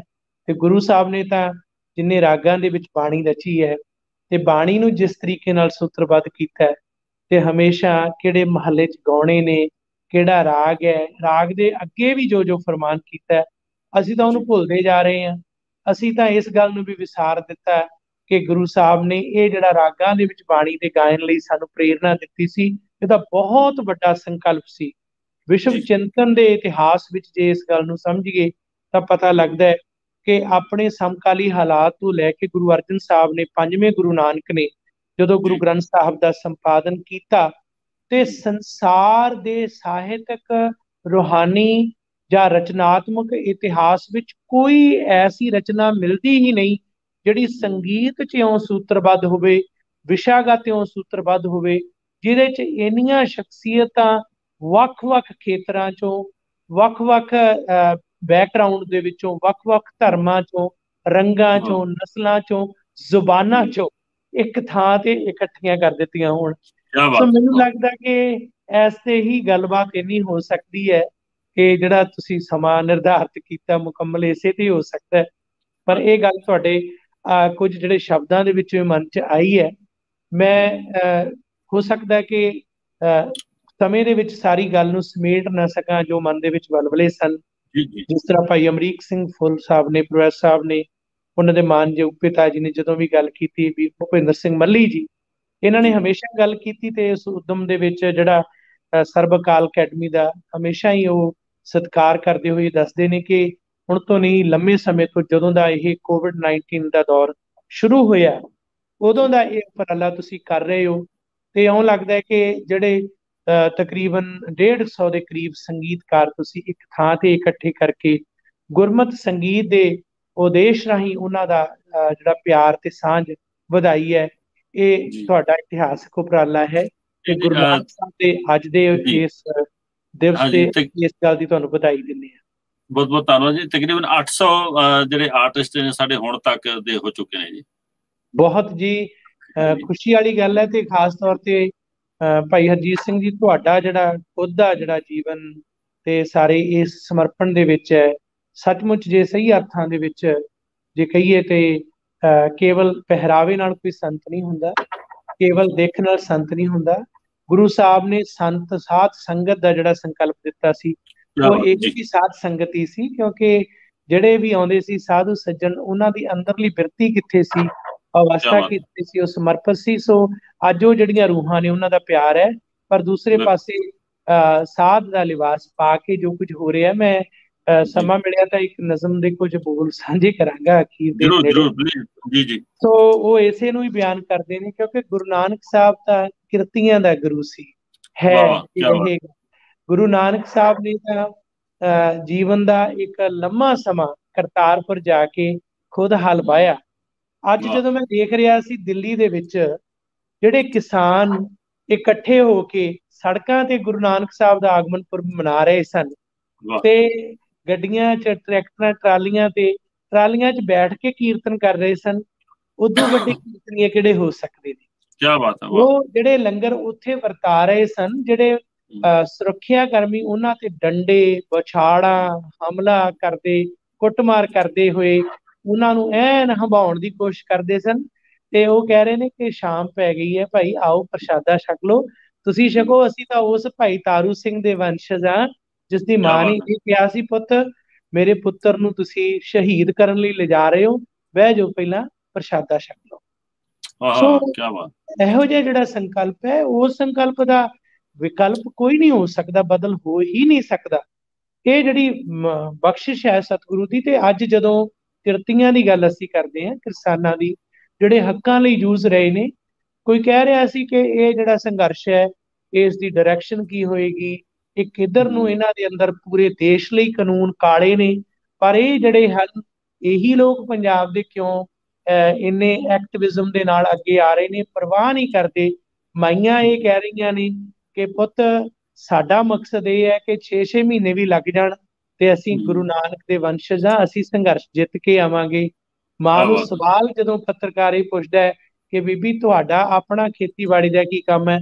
ਤਾਂ ਉਹ ਕਹਿੰਦੀ ਹੈ ਕਿ ਨਾ ਮੇਰਾ ਕੋਈ ਪੁੱਤਰ ਹੈ ਤੇ ਨਾ ਧੀ ਹੈ ਪਰ ਤੁਸੀਂ ਮੇਰੇ ਸਾਰੇ ਸਹਿਬਜ਼ਾਦੇ ਹੋ ਤੁਸੀਂ ਮੇਰੇ ਬੱਚੇ ਹੋ ਤੇ ਮੈਂ ਇਹਨਾਂ ਤੋਂ ਪਹਿਲਾਂ ਕੁਰਬਾਨ ਹੋਵਾਂਗੀ ਤੇ ਉਸ ਮਾਂ ਦੇ ਇਹ ਸ਼ਬਦ ਕਿ ਮੈਂ ਤਾਂ ਪੁੱਤ ਆਪਣੇ ਝੋਲੇ 'ਚ ਕਫਨ ਪਾ ਕੇ ਲਿਆਈ ਆ। ਹਾਂ ਕੀ ਬਾਤ। ਆ ਸੋਚ ਆ ਨਾ ਜਿਹੜੀ ਇਹ ਸੋਚ ਜੇ ਕੋਈ ਪੁੱਛੇ ਤਾਂ ਕਿੱਥੋਂ ਆਈ ਹੈ? ਇਹ ਸੋਚ ਆਈ ਹੈ ਗੁਰੂ ਨਾਨਕ ਤੋਂ। ਸੰਸਾਰ ਦੇ ਇਤਿਹਾਸ ਵਿੱਚ ਗੁਰੂ ਨਾਨਕ ਦੀ ਇਹ ਉਮਦ ਇਸੇ ਕਰਕੇ ਹੀ ਮਹਾਨ ਹੈ ਕਿਉਂਕਿ ਇਹ ਹਰ ਰੋਜ਼ ਅਰਦਾਸ ਕਰਦੀ ਹੈ ਇਹ ਅਰਦਾਸ ਹੀ ਕਰਦੀ ਹੈ ਕਿ ਨਾਨਕ ਨਾਮ ਚੜ੍ਹਦੀ ਕਲਾ ਤੇਰੇ ਪਾਣੀ ਸਰਬੱਤ ਦਾ ਭਲਾ। ਇਹ ਸੋਚ ਲੈ ਕੇ ਚੱਲਦੀ ਹੈ ਇਹ ਤਾਂ ਕਿਸੇ ਨੂੰ ਨਾ ਕੋ ਵੈਰੀ ਨਹੀਂ ਬਗਾਨਾ ਸਗਲ ਸੰਗ ਹਮਕੋ ਬਨ ਆਈ। ਇੱਕ ਦੋਰੇ ਦੇ ਵਿੱਚ ਲਿਖਿਆ ਸੀ ਈਰਖਾ ਨਫ਼ਰਤ ਬੈਰ ਤੋਂ ਜੋ ਹੋਵਣ ਦਿਲ ਸਾਫ਼ ਦੋ ਉਹਨਾਂ ਦਿਲਾਂ ਨੂੰ ਯਾਦ ਹੈ ਭਾਈ ਕਨਈਆ ਉਹਨਾਂ ਦਿਲਾਂ ਨੂੰ ਸਦਾ ਭਾਈ ਕਨਈਆ ਯਾਦ ਭਾਈ ਕਨਈਆ ਜੀ ਦੀ ਇਹ ਸੋਚ ਆ ਤੇ ਦਿੱਲੀ ਦੇ ਬਾਰੇ ਵੀ ਇਹ ਆ ਕਿ ਦਿੱਲੀ ਤਾਂ ਉਹ ਆ ਜਿੱਥੇ ਨੌਵੇਂ ਨਾਨਕ ਸ਼ਹੀਦ ਹੋਏ। ਦੇਖੋ ਗੁਰੂ ਨਾਨਕ ਆਰੰਭ ਦੇ ਵਿੱਚ ਆਪਣੇ ਜੀਵਨ ਦੇ ਸਫ਼ਰ ਆਰੰਭ ਦੇ ਵਿੱਚ ਜਨੇਊ ਪਾਉਣ ਤੋਂ ਇਨਕਾਰ ਕਰਦੇ ਨੇ। ਉਹਦੀ ਵਜ੍ਹਾ ਕਾਰਨ ਇਹ ਹੈ ਕਿ ਉਹ ਉਸ ਵੇਲੇ ਦਾ ਜਿਹੜਾ ਬ੍ਰਾਹਮਣੀ ਨਿਜ਼ਾਮ ਹੈ ਉਸ ਨੂੰ ਚੁਣੌਤੀ ਦੇ ਰਹੇ ਨੇ। ਉਹ ਇਸ ਗੱਲ ਨੂੰ ਚੁਣੌਤੀ ਦੇ ਰਹੇ ਨੇ ਕਿ ਜਿਹੜਾ ਡੰਮ ਤੁਸੀਂ ਚਲਾਇਆ ਦਰਅਸਲ ਇਸ ਤੋਂ ਉੱਪਰ ਉੱਠ ਕੇ ਮਾਨਵਤਾਵਾਦ ਸੰਕਲਪ ਜਿਸ ਦੇ ਵਿੱਚ ਜਾਤ ਵਰਗ ਵੰਡ ਫਿਰਕਾ ਇਹ ਸਾਰਾ ਕੁਝ ਨਾ ਹੋਵੇ ਤੇ ਇੱਕੋ ਹੀ ਸਿਧਾਂਤ ਹੋਵੇ ਉਹ ਹੈ ਸਭੇ ਸਾਂਝੀ ਵਾਲ ਸਦਾਇਨ ਕੋਈ ਨਾ ਦਿਸੇ ਬਾਰਾ ਜੀ। ਇਹ ਸਿਧਾਂਤ ਜਿੱਥੇ ਸਭੇ ਕਟ ਰਾਮ ਬੋਲੇ ਰਾਮਾ ਬੋਲੇ ਰਾਮ ਬਿਨਾ ਕੋ ਬੋਲੇ ਰੇ ਇਹ ਸਿਧਾਂਤ ਜਿੱਥੇ ਅਵਲ ਅੱਲਾ ਨੂਰ ਉਪਾਇਆ ਕੁਦਰਤ ਦੇ ਸਭ ਬੰਦੇ ਇੱਕ ਨੂਰ ਤੇ ਸਭ ਜਗ ਉਪਜਿਆ ਕੌਣ ਭਲੇ ਜਿੱਥੇ ਇਹ ਆ ਕਿ ਫਰੀਦਾ ਖਾਲਕ ਖਲਕ ਮੈਂ ਖਲਕ ਬਸੇ ਰਮਾਏ ਮੰਦਾ ਕਿਸ ਨੂੰ ਆਖੀਏ ਜਾਂ? ਤਿਸ ਬਿਨ ਕੋਈ ਨਾ। ਇਹ ਸਿਧਾਂਤ ਤਾਂ ਗੁਰੂ ਸਾਹਿਬ ਦਾ। ਹੁਣ ਇਸ ਦੇ ਬਾਵਜੂਦ ਕਿ ਪਹਿਲੇ ਨਾਨਕ ਜਨੇਊ ਪਾਉਣ ਤੋਂ ਇਨਕਾਰ ਕਰਕੇ ਬ੍ਰਾਹਮਣੀ ਨਿਜ਼ਾਮ ਦੇ ਖਿਲਾਫ ਇੱਕ ਬਦਲ ਦੇ ਰੂਪ ਦੇ ਵਿੱਚ ਸਿੱਖ ਧਰਮ ਦਾ ਉਤਥਾਨ ਕਰਦੇ ਨੇ ਨੌਵੇਂ ਨਾਨਕ ਉਸੇ ਜਨੇਊ ਦੇ ਬਚਾਉਣ ਲਈ ਸ਼ਹਾਦਤ ਦਿੰਦੇ ਨੇ। ਤਿਲਕ ਜੰਜੂ ਰਾਖਾ ਪ੍ਰਭ ਤਾਂ ਕਾ ਕੀ ਬੜੋ ਕੜੂ ਮੈਂ ਸਾਕਾ। ਸਾਧਨ ਹੈ ਇਤੀ ਜਨ ਕਰੀ ਸੀਸ ਪਿਆ ਦਿਆ ਪਰ ਸੀ ਨਾ ਉਚਰੀ। ਇਹ ਜੋ ਸੰਕਲਪ ਹੈ ਹੁਣ ਇੱਥੇ ਗੱਲ ਵਿਚਾਰਨ ਵਾਲੀ ਹੈ ਕਿ ਗੁਰੂ ਨਾਨਕ ਸਾਹਿਬ ਨੇ ਜਿਹੜਾ ਉਹ ਸਿਸਟਮ ਸੀ ਜਿਸ ਦੇ ਵਿੱਚ ਕਿਸੇ ਨੂੰ ਸ਼ੂਦਰ ਕਿਸੇ ਨੂੰ ਨੀਵਾ ਈਵਨ ਕਿਰਸਾਨ ਜੱਟ ਜਿਨ੍ਹਾਂ ਨੂੰ ਵੀ ਅਸੀਂ ਕਹਿੰਦੇ ਆ ਇਹ ਵੀ ਮਨੂਵਾਦੀ ਸਮ੍ਰਿਤੀ ਦੇ ਅਨੁਸਾਰ ਸ਼ੂਦਰ ਹੀ ਮੰਨੇ ਜਾਂਦੇ ਨੇ ਇਹਨਾਂ ਨੂੰ ਵੀ ਇਹ ਮੰਨਿਆ ਜਾਂਦਾ। ਗੁਰੂ ਸਾਹਿਬ ਕਹਿੰਦੇ ਕਿ ਮੇਰਾ ਤਾਂ ਸਿਧਾਂਤ ਹੀ ਵੱਖਰਾ ਹੈ। ਨੀਚ ਅੰਦਰ ਨੀਚ ਜਾਤ ਨੀਚੀ ਹੂੰ। ਅਤ ਨੀਚ ਨਾਨਕ ਤਿੰਨਕੇ ਸਾਥ ਤਿੰਨਕੇ ਸੰਗ ਸਾਥ ਵੱਡਿਆਂ ਸੋ ਕਿਆ ਰੀਤ ਗੁਰੂ ਸਾਹਿਬ ਆਦੇ ਹੈ। ਗੁਰੂ ਸਾਹਿਬ ਨੇ ਇਨਕਾਰ ਕੀਤਾ ਪਰ ਨੌਵੇਂ ਗੁਰੂ ਨਾਨਕ ਉਥੇ ਆਵਾਜ਼ ਉਠਾ ਕੇ ਸ਼ਹਾਦਤ ਦਿੰਦੇ ਨੇ। ਪਰ ਉਹ ਸ਼ਹਾਦਤ ਨਾ ਕੇਵਲ ਕਿਸੇ ਹਿੰਦ ਦੇ ਲਈ ਹੈ, ਨਾ ਕਿਸੇ ਮਜ਼ਹਬ ਦੇ ਲਈ ਹੈ, ਉਹ ਮਨੁੱਖੀ ਅਧਿਕਾਰਾਂ ਦੇ ਲਈ ਹੈ, ਪੀੜਤ ਵਰਗ ਦੇ ਲਈ ਹੈ। ਜਿਹੜਾ ਪੀੜਤ ਵਰਗ ਹੈ ਡਿਫਾਈਨ ਕਰਨਾ ਗੁਰੂ ਸਾਹਿਬ ਉਸ ਵੇਲੇ ਇਹ ਡੈਫੀਨੇਸ਼ਨ ਨਹੀਂ ਰੱਖਦੇ ਕਿ ਇਸ ਦੇ ਨਾਲ ਮੇਰੇ ਵਿਚਾਰ ਨਹੀਂ ਮਿਲਦੇ। ਇਸ ਦੇ ਮੁਤਾਬਕ ਪਹਿਲੇ ਗੁਰੂ ਨਾਨਕ ਬਗਾਵਤ ਕੀਤੀ ਸੀ। ਗੁਰੂ ਸਾਹਿਬ ਕਹਿੰਦੇ ਨੇ ਕਿ ਅੱਜ ਜ਼ੁਲਮ ਕਰਨ ਵਾਲਾ ਕੌਣ ਹੈ ਤੇ ਪੀੜਤ ਕੌਣ ਹੈ? ਜੇ ਪੀੜਤ ਕਸ਼ਮੀਰ ਦੇ ਪੰਡਤ ਨੇ ਭਾਰਤ ਦੀ ਉਹ ਵਸੋਂ ਹੈ ਜਿਹੜੀ ਕਿ ਉਸ ਹਿੰਦੂ ਭਾਈਚਾਰੇ ਨੂੰ ਨਿਸ਼ਾਨਾ ਬਣਾ ਕੇ ਟਾਰਗੇਟ ਬਣਾ ਕੇ ਮੁਗਲਿਆ ਹਕੂਮਤ ਜ਼ੁਲਮ ਕਰ ਰਹੀ ਹੈ ਤਾਂ ਗੁਰੂ ਸਾਹਿਬ ਉਸ ਵੇਲੇ ਔਰੰਗਜ਼ੇਬ ਨੂੰ ਚੁਣੌਤੀ ਦਿੰਦੇ ਨੇ। ਤੇ ਇਹ ਚੁਣੌਤੀ ਇਸ ਕਿਸਮ ਦੀ ਦਿੰਦੇ ਨੇ ਕਿ ਦੁਨੀਆ ਦੇ ਇਤਿਹਾਸ ਵਿੱਚ ਮਿਸਾਲ ਨਹੀਂ ਮਿਲਣੀ ਜੋ ਨੌਵੇਂ ਗੁਰੂ ਨਾਨਕ ਨੇ ਕੀਤਾ ਕਿ ਖੁਦ ਕਾਤਲ ਦੇ ਕੋਲ ਮਕਤੂਲ ਚੱਲ ਕੇ ਉਸ ਜ਼ਾਲਮ ਨੂੰ ਦਿੱਲੀ ਦੇ ਵਿੱਚ ਜਾ ਕੇ ਇਹ ਚੁਣੌਤੀ ਦਿੰਦਾ ਕਿ ਮੇਰਾ ਸੀਸ ਹਾਜ਼ਰ ਹੈ ਮੈਂ ਇਹਨਾਂ ਲੋਕਾਂ ਲਈ ਖੜਨਾ ਮੈਂ ਇਹਨਾਂ ਦੀ ਸ਼ਹਾਦਤ ਦੇਣੀ ਹੈ। ਉਹ ਦਿੱਲੀ ਉਹ ਚਾਂਦਨੀ ਚੌਕ ਉਹ ਜਗ੍ਹਾ ਅੱਜ ਵੀ ਇਸ ਗੱਲ ਦੀ ਗਵਾਹੀ ਭਰਦੀ ਹੈ ਤੇ ਇਹ ਗੱਲ ਸੱਚ ਹੈ ਕਿ ਅੱਜ ਜੇਕਰ ਸੱਚ ਦੇਖੀਏ ਇਹ ਗੱਲ ਕਹੀ ਜਾ ਸਕਦੀ ਹੈ ਕਿ ਪ੍ਰਗਟ ਪਏ ਗੁਰੂ ਤੇਗ ਬਹਾਦਰ ਸਗਲ ਸ੍ਰਿਸ਼ਟ ਪੈ ਢਾਪੀ ਚਾਦਰ। ਸਗਲ ਸ੍ਰਿਸ਼ਟ ਪੈ। ਕਿਸੇ ਹੋਰ ਵਾਇਟੀਅਰ 200 ਸਾਲ ਪਹਿਲਾਂ ਹੋਏ ਗੁਰੂ ਸਾਹਿਬ ਤੋਂ ਪਹਿਲਾਂ ਹੋ ਕੇ ਸ਼ਹਾਦਤ ਵੀ ਦੇ ਗਏ ਜਿਹੜਾ ਮਨੁੱਖ ਘਰਾਂ ਦੀ ਡੈਫੀਨੇਸ਼ਨ ਦਾ ਵਾਲਟਨ ਦੇ ਸ਼ਬਦ ਵਰਤਿਆ ਕਿ ਜਿਹਦੇ ਨਾਲ ਮੇਰੇ ਵਿਚਾਰ ਵੀ ਮਿਲਦੇ ਨਹੀਂ ਉਹ ਜੇ ਮੇਰੀ ਵਿਰੋਧਤਾ ਕਰੇ ਤੇ ਮੇਰੇ ਹੱਕ 'ਚ ਖੜਨ ਵਾਲਾ ਜੇ ਉਹਨੂੰ ਗਲਤ ਕਵੇ ਤਾਂ ਮੈਂ ਉਹਦੀ ਵਿਰੋਧਤਾ ਕਰਾਂਗਾ ਕਰਾਂਗਾ। ਗੁਰੂ ਸਾਹਿਬ ਕਹਿੰਦੇ ਕਰਾਂਗਾ ਨਹੀਂ। ਜਿਸ ਵੇਲੇ ਬ੍ਰਾਹਮਣੀ ਨਿਜ਼ਾਮ ਦੇ ਖਿਲਾਫ ਗੁਰੂ ਸਾਹਿਬ ਨੇ ਸੰਘਰਸ਼ ਕੀਤਾ ਜਨੇਊ ਪਾਉਣ ਤੋਂ ਇਨਕਾਰ ਕੀਤਾ ਗੁਰੂ ਸਾਹਿਬ ਲਈ ਥਾਂ ਥਾਂ ਤੇ ਉਹਨਾਂ ਨੇ ਮੁਸ਼ਕਲਾਂ ਖੜੀਆਂ ਕੀਤੀਆਂ। ਪੰਜਵੇਂ ਗੁਰੂ ਨਾਨਕ ਨੂੰ ਸ਼ਹੀਦ ਕਰਾਉਣ ਦੇ ਵਿੱਚ ਵੀ ਸਰਕਾਰ ਨਾਲ ਮਿਲ ਕੇ ਰੋਲ ਅਦਾ ਕੀਤਾ ਹਰ ਤਰ੍ਹਾਂ ਦਾ ਜ਼ੁਲਮ ਕੀਤਾ। ਪਰ ਯਕੀਨ ਮੰਨਿਓ ਜੋ ਵਾਲਟਰ ਕਹਿ ਰਿਹਾ ਗੁਰੂ ਤੇਗ ਬਹਾਦਰ ਜੀ ਨੇ ਸਦੀਆਂ ਪਹਿਲਾਂ ਕਰਕੇ ਵਿਖਾਇਆ। ਕੀ ਬਾਤ ਤਿਲਕ ਜੰਜੂ ਰਾਖਾ ਪ੍ਰਭ ਤਾਂਕਾ ਇਹ ਜਿਹੜੀ ਬਿਆਨ ਹੈ ਇਹ ਬਹੁਤ ਵੱਡਾ ਸੰਕਲਪ ਹੈ। ਇਸ ਤੋਂ ਵੱਡਾ ਜਿਹੜਾ ਗੁਰੂ ਸਾਹਿਬ ਦੇ ਆਪਣੇ ਸ਼ਬਦ ਨੇ ਭੈ ਕਾਹੂ ਕੋ ਦੇਖ ਨੈ ਪੈਮਾਨ ਕਹੋ ਨਾਨਕ ਸੁਨ ਰੇ ਮਨਾ, ਗਿਆਨੀ ਤਾਹੀ ਬਖਾਨ ਇੱਕ ਹੋਰ ਗੱਲ, ਇਹ ਵੀ ਇੱਕ ਦੁਖਾਂਤਕ ਪੱਖ ਹੈ ਕਿ ਜਦੋਂ ਗੁਰੂ ਨਾਨਕ ਸਾਹਿਬ ਤੋਂ ਗੁਰੂ ਗੋਬਿੰਦ ਸਿੰਘ ਜੀ ਦੀ ਗੱਲ ਕਰਦੇ, ਕਈ ਆਪਣੇ ਆਪ ਨੂੰ ਇੰਟੈਲੈਕਚੁਅਲ ਕਹਾਉਂਦੇ ਬੰਦੇ ਉਹਨਾਂ ਨੂੰ ਅਲੱਗ-ਅਲੱਗ ਧਿਰਾਂ 'ਚ ਵੰਡ ਕੇ ਦੇਖਦੇ ਨੇ, ਟੁਕੜਿਆਂ 'ਚ ਵੰਡ ਕੇ ਦੇਖਦੇ ਨੇ। ਬਹੁਤ ਹੀ ਗਲਤ ਸੋਚ ਹੈ ਤੇ ਅਧੂਰੀ ਸੋਚ ਹੈ।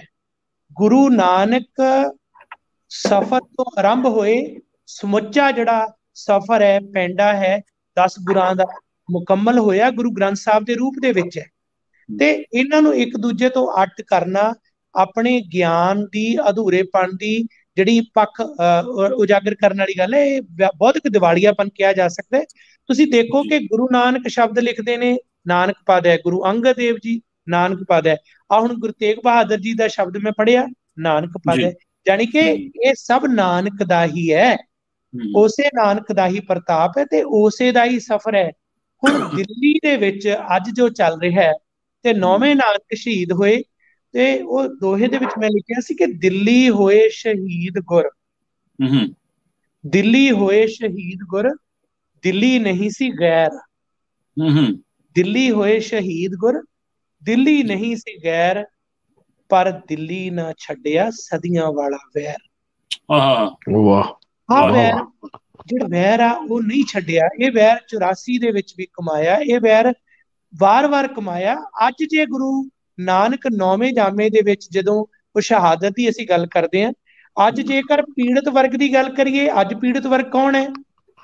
ਜਿਨ੍ਹਾਂ ਦੇ ਉੱਪਰ ਨਿਸ਼ਾਨਾ ਰੱਖ ਕੇ ਇਹ ਕਿਹਾ ਜਾ ਰਿਹਾ ਕਿ ਇਹ ਦੇਸ਼ ਨੂੰ ਵੰਡ ਰਹੇ ਨੇ। ਟੁਕੜੇ ਟੁਕੜੇ ਗੈਂਗ ਨੇ ਇਹ ਟੈਰਰਿਸਟ ਨੇ ਇਹ ਵੱਖਵਾਦੀ ਨੇ, ਇਹ ਅੱਤਵਾਦੀ ਨੇ, ਅੱਜ ਉਹ ਪੀੜਤ ਨੇ ਤੇ ਤਸ਼ੱਦਦ ਕਰਨ ਵਾਲੇ ਫਾਸ਼ੀਵਾਦੀ ਜਿਹੜੇ ਨੇ, ਜੇਕਰ ਇਹ ਸੋਚਣ ਕਿ ਸਾਡੇ ਵਾਸਤੇ ਗੁਰੂ ਤੇਗ ਬਹਾਦਰ ਜੀ ਹਮੇਸ਼ਾ ਖੜੇ ਨੇ, ਨਹੀਂ, ਅੱਜ ਗੁਰੂ ਨਾਨਕ ਦੀ ਉਮਦ ਜਿਹੜਾ ਪੀੜਤ ਹੈ ਉਹਦੇ ਨਾਲ ਖੜੀ ਹੈ। ਪਰਿਭਾਸ਼ਾ ਜੇ ਦੇਖੀਏ ਤਾਂ ਅੱਜ ਪੀੜਤ ਉਹ ਨੇ ਜਿਨ੍ਹਾਂ ਦੇ ਉੱਪਰ ਜ਼ੁਲਮ ਹੋ ਰਿਹਾ ਦਿੱਲੀ ਦੇ ਵਿੱਚ ਕਿਸਾਨ ਜੇ ਅੱਜ ਉਹ ਕਾਲੇ ਕਾਨੂੰਨਾਂ ਦੇ ਖਿਲਾਫ ਲੜ ਰਹੇ ਨੇ, ਤਾਂ ਉਹ ਗੁਰੂ ਨਾਨਕ ਸਾਹਿਬ ਦੀ ਉਮਦ ਨੇ। ਉਹ ਸਾਰੇ ਦੇ ਸਾਰੇ ਉਸੇ ਦਾ ਪ੍ਰਤਾਪ ਨੇ। ਜੇਕਰ ਪਿਛਲੀ ਸਦੀ ਦੇ ਵਿੱਚ ਪੰਜਾਬੀ ਕਵਿਤਾ ਦੇ ਵਿੱਚ ਇੱਕ ਸਤਰ ਸਭ ਤੋਂ ਉੱਤਮ ਕਹੀ ਜਾ ਸਕਦੀ ਹੈ ਤਾਂ ਉਹ ਇੱਕੋ ਹੀ ਸਤਰ ਹੈ ਪੰਜਾਬ ਜਿਉਂਦਾ ਗੁਰਾਂ ਦੇ ਨਾਮ ਗੁਰਾਂ ਦੇ ਨਾਮ ਕੀ ਬਾਤ। ਪ੍ਰੋਫੈਸਰ ਪੂਰਨ ਸਿੰਘ ਦੀ ਇਹ ਇੱਕ ਸਤਰ ਹੈ ਜਿਹੜੀ ਉਹ ਸਾਰੇ ਵਿਖਿਆਤ ਨੂੰ ਪੇਸ਼ ਕਰ ਦਿੰਦੀ ਹੈ। ਸਾਡੇ ਕੋਲ ਇਹ ਸਿਧਾਂਤਕ ਨੁਕਤਾ ਜਿਹੜਾ ਹੈ ਜਿਸ ਤੇ ਅਸੀਂ ਅੱਜ ਵਿਚਾਰ ਕਰਨੀ ਉਹ ਇਹ ਹੈ ਕਿ ਗੁਰੂ ਨਾਨਕ ਸਾਹਿਬ ਦੇ ਸਿੱਖ ਦਾ ਕੀ ਫਰਜ਼ ਹੈ? ਸਾਡੇ ਲਈ ਇਹ ਦੁੱਖ ਦੀ ਗੱਲ ਵੀ ਹੈ ਕਿ ਸਿੱਖ ਸਿਧਾਂਤ ਤੇ ਸਿੱਖ ਸਮਾਜ ਦੇ ਵਿੱਚ ਪਾੜਾ ਵੱਧ ਰਿਹਾ ਹੈ। ਜੀ। ਜਾਤਾਂ ਪਾਤਾਂ ਦੀ ਵੰਡ ਇਸਤਰੀ ਦੇ ਸਤਕਾਰ ਦੀ ਗੱਲ ਜਿਹੜੀ ਗੁਰੂ ਸਾਹਿਬ ਨੇ ਕਹੀ ਸੀ ਉਹ ਤੋਂ ਦੂਰ ਹੋਣਾ। ਕਿਉਂਕਿ ਗੁਰੂ ਸਾਹਿਬ ਨੇ ਉਸ ਸਦੀ ਦੇ ਵਿੱਚ ਜਦੋਂ ਕਿ ਦੁਨੀਆ ਦੇ ਵੱਖ-ਵੱਖ ਅੱਜ ਵੈਸਟਰਨ ਕੰਟਰੀ ਜਿਨ੍ਹਾਂ ਨੂੰ ਕਿਹਾ ਜਾ ਰਿਹਾ ਉਹਨਾਂ ਦੇ ਵਿੱਚ ਔਰਤ ਨੂੰ ਦਬਾਇਆ ਜਾਂਦਾ ਸੀ। ਗੁਰੂ ਸਾਹਿਬ ਨੇ ਉਸ ਵੇਲੇ ਆਵਾਜ਼ ਉਸ ਪੰਜਾਬ ਦੀ ਧਰਤੀ ਤੋਂ ਦਿੱਤੀ ਕਿ ਸੋ ਕਿਉਂ ਮਤਾ ਕਿ ਜਿੱਤ ਜਮੇ ਰਾਜਾਨ ਬਿਲਕੁਲ ਕਿਹਾ ਸਰ ਮੁਹੰਮਦ ਇਕਬਾਲ ਡਾਕਟਰ ਸਾਹਿਬ ਜਦੋਂ ਲੈਂਦੇ ਲਿਖਦੇ ਨੇ ਤਾਂ ਅਲਾਮਾ ਇਕਬਾਲ ਕਿ ਫਿਰ ਉਠੀ ਆਖਰ ਸਦਾ ਤੌਹੀਦ ਕੀ ਪੰਜਾਬ ਸੇ ਹਿੰਦ ਕੋ ਇੱਕ ਮਰਦ ਕਾਮਿਲ ਨੇ ਜਗਾਇਆ ਖਾਬ ਸੇ ਸੁੱਤਾ ਪਿਆ ਸੀ ਉਹ ਹਿੰਦ। ਵੱਡੀਆਂ ਵੱਡੀਆਂ ਡੀਂਗਾ ਮਾਰਦੇ ਆ ਜਿਨ੍ਹਾਂ ਕੋਲ ਅੱਜ ਸੱਤਾ। ਉਹ ਯਾਰੋ ਉਹ ਸੁੱਤਾ ਪਿਆ ਗਾਫਲ ਦੀ ਨੀਂਦ। ਤੇ ਹਮਲਾਵਰ ਆ ਰਿਹਾ ਹੈ। ਇੱਕ ਥਾਪੜ ਕੇ ਕੌਣ ਖੜਿਆ? ਗੁਰੂ ਨਾਨਕ। ਜਦੋਂ ਇਹ ਫਰਮਾਨ ਕਰਦੇ ਆ ਕਿ ਪਾਪ ਕੀ ਜੰਜ ਲੈ ਕਾਬਲੋਂ ਧਾਇਆ ਜੋਰੀ ਮੰਗੇ ਦਾਨ ਮਿਲਾ ਤੇ ਗੁਰੂ ਸਾਹਿਬ ਇਹ ਕਹਿੰਦੇ ਨੇ ਏਤੀ ਮਾਰ ਪਈ ਕੁਰਲਾਣੇ ਤੈਂ ਕੀ ਦਰਦ ਨਾ ਹੈ? ਗੁਰੂ ਸਾਹਿਬ ਕਹਿੰਦੇ ਨੇ ਕਿ ਰਾਜੇ ਸ਼ੀ ਮੁਕੱਦਮ ਉੱਤੇ ਜੇ ਜਿਸ ਦਾ ਗੁਰੂ ਇਹ ਗੱਲ ਕਹਿ ਰਿਹਾ ਹੋਵੇ ਉਸ ਦੇ ਸਿੱਖ ਦੀ ਜ਼ੁਬਾਨ ਬੰਦ ਹੋ ਜੇ ਤਾਂ ਉਹ ਗੁਰੂ ਨਾਨਕ ਦਾ ਸਿੱਖ ਨਹੀਂ ਹੋ ਸਕਦਾ। ਬਿਲਕੁਲ। ਉਹ ਮਲਕ ਭਾਗੋ ਦਾ ਸਿੱਖ ਤਾਂ ਹੋ ਸਕਦਾ ਭਾਈ ਲਾਲੋ ਦਾ ਭਰਾ ਨਹੀਂ ਹੋ ਸਕਦਾ। ਆ ਚੀਜ਼ ਹੈ ਅੱਜ ਕਿਸਾਨਾਂ ਦੇ ਸੰਘਰਸ਼ ਦੇ ਵਿੱਚ ਜਿਹੜੇ ਨਹੀਂ ਬੋਲਦੇ ਆਪਣੇ ਮੂੰਹ ਬੰਦ ਕਰੀ ਬੈਠੇ ਨੇ। ਕੈਨੇਡਾ ਦੇ ਜਿਹੜੇ ਉਹ ਲੋਕ ਕੈਨੇਡਾ ਦੇ ਵਿੱਚ ਸਾਡੇ ਜਿਹੜੇ ਚੁਣੇ ਨੁਮਾਇੰਦੇ ਜਿਨ੍ਹਾਂ ਚ ਨੌਜਵਾਨ ਨੇ ਮੈਨੂੰ ਤਾਂ ਅੱਜ ਖੁਸ਼ੀ ਹੈ ਇਸ ਗੱਲ ਦੀ। ਤੁਸੀਂ ਕੈਲਗਰੀ ਐਡਮਿੰਟਨ ਤੋਂ ਗੱਲ ਕਰ ਰਹੇ ਹੋ।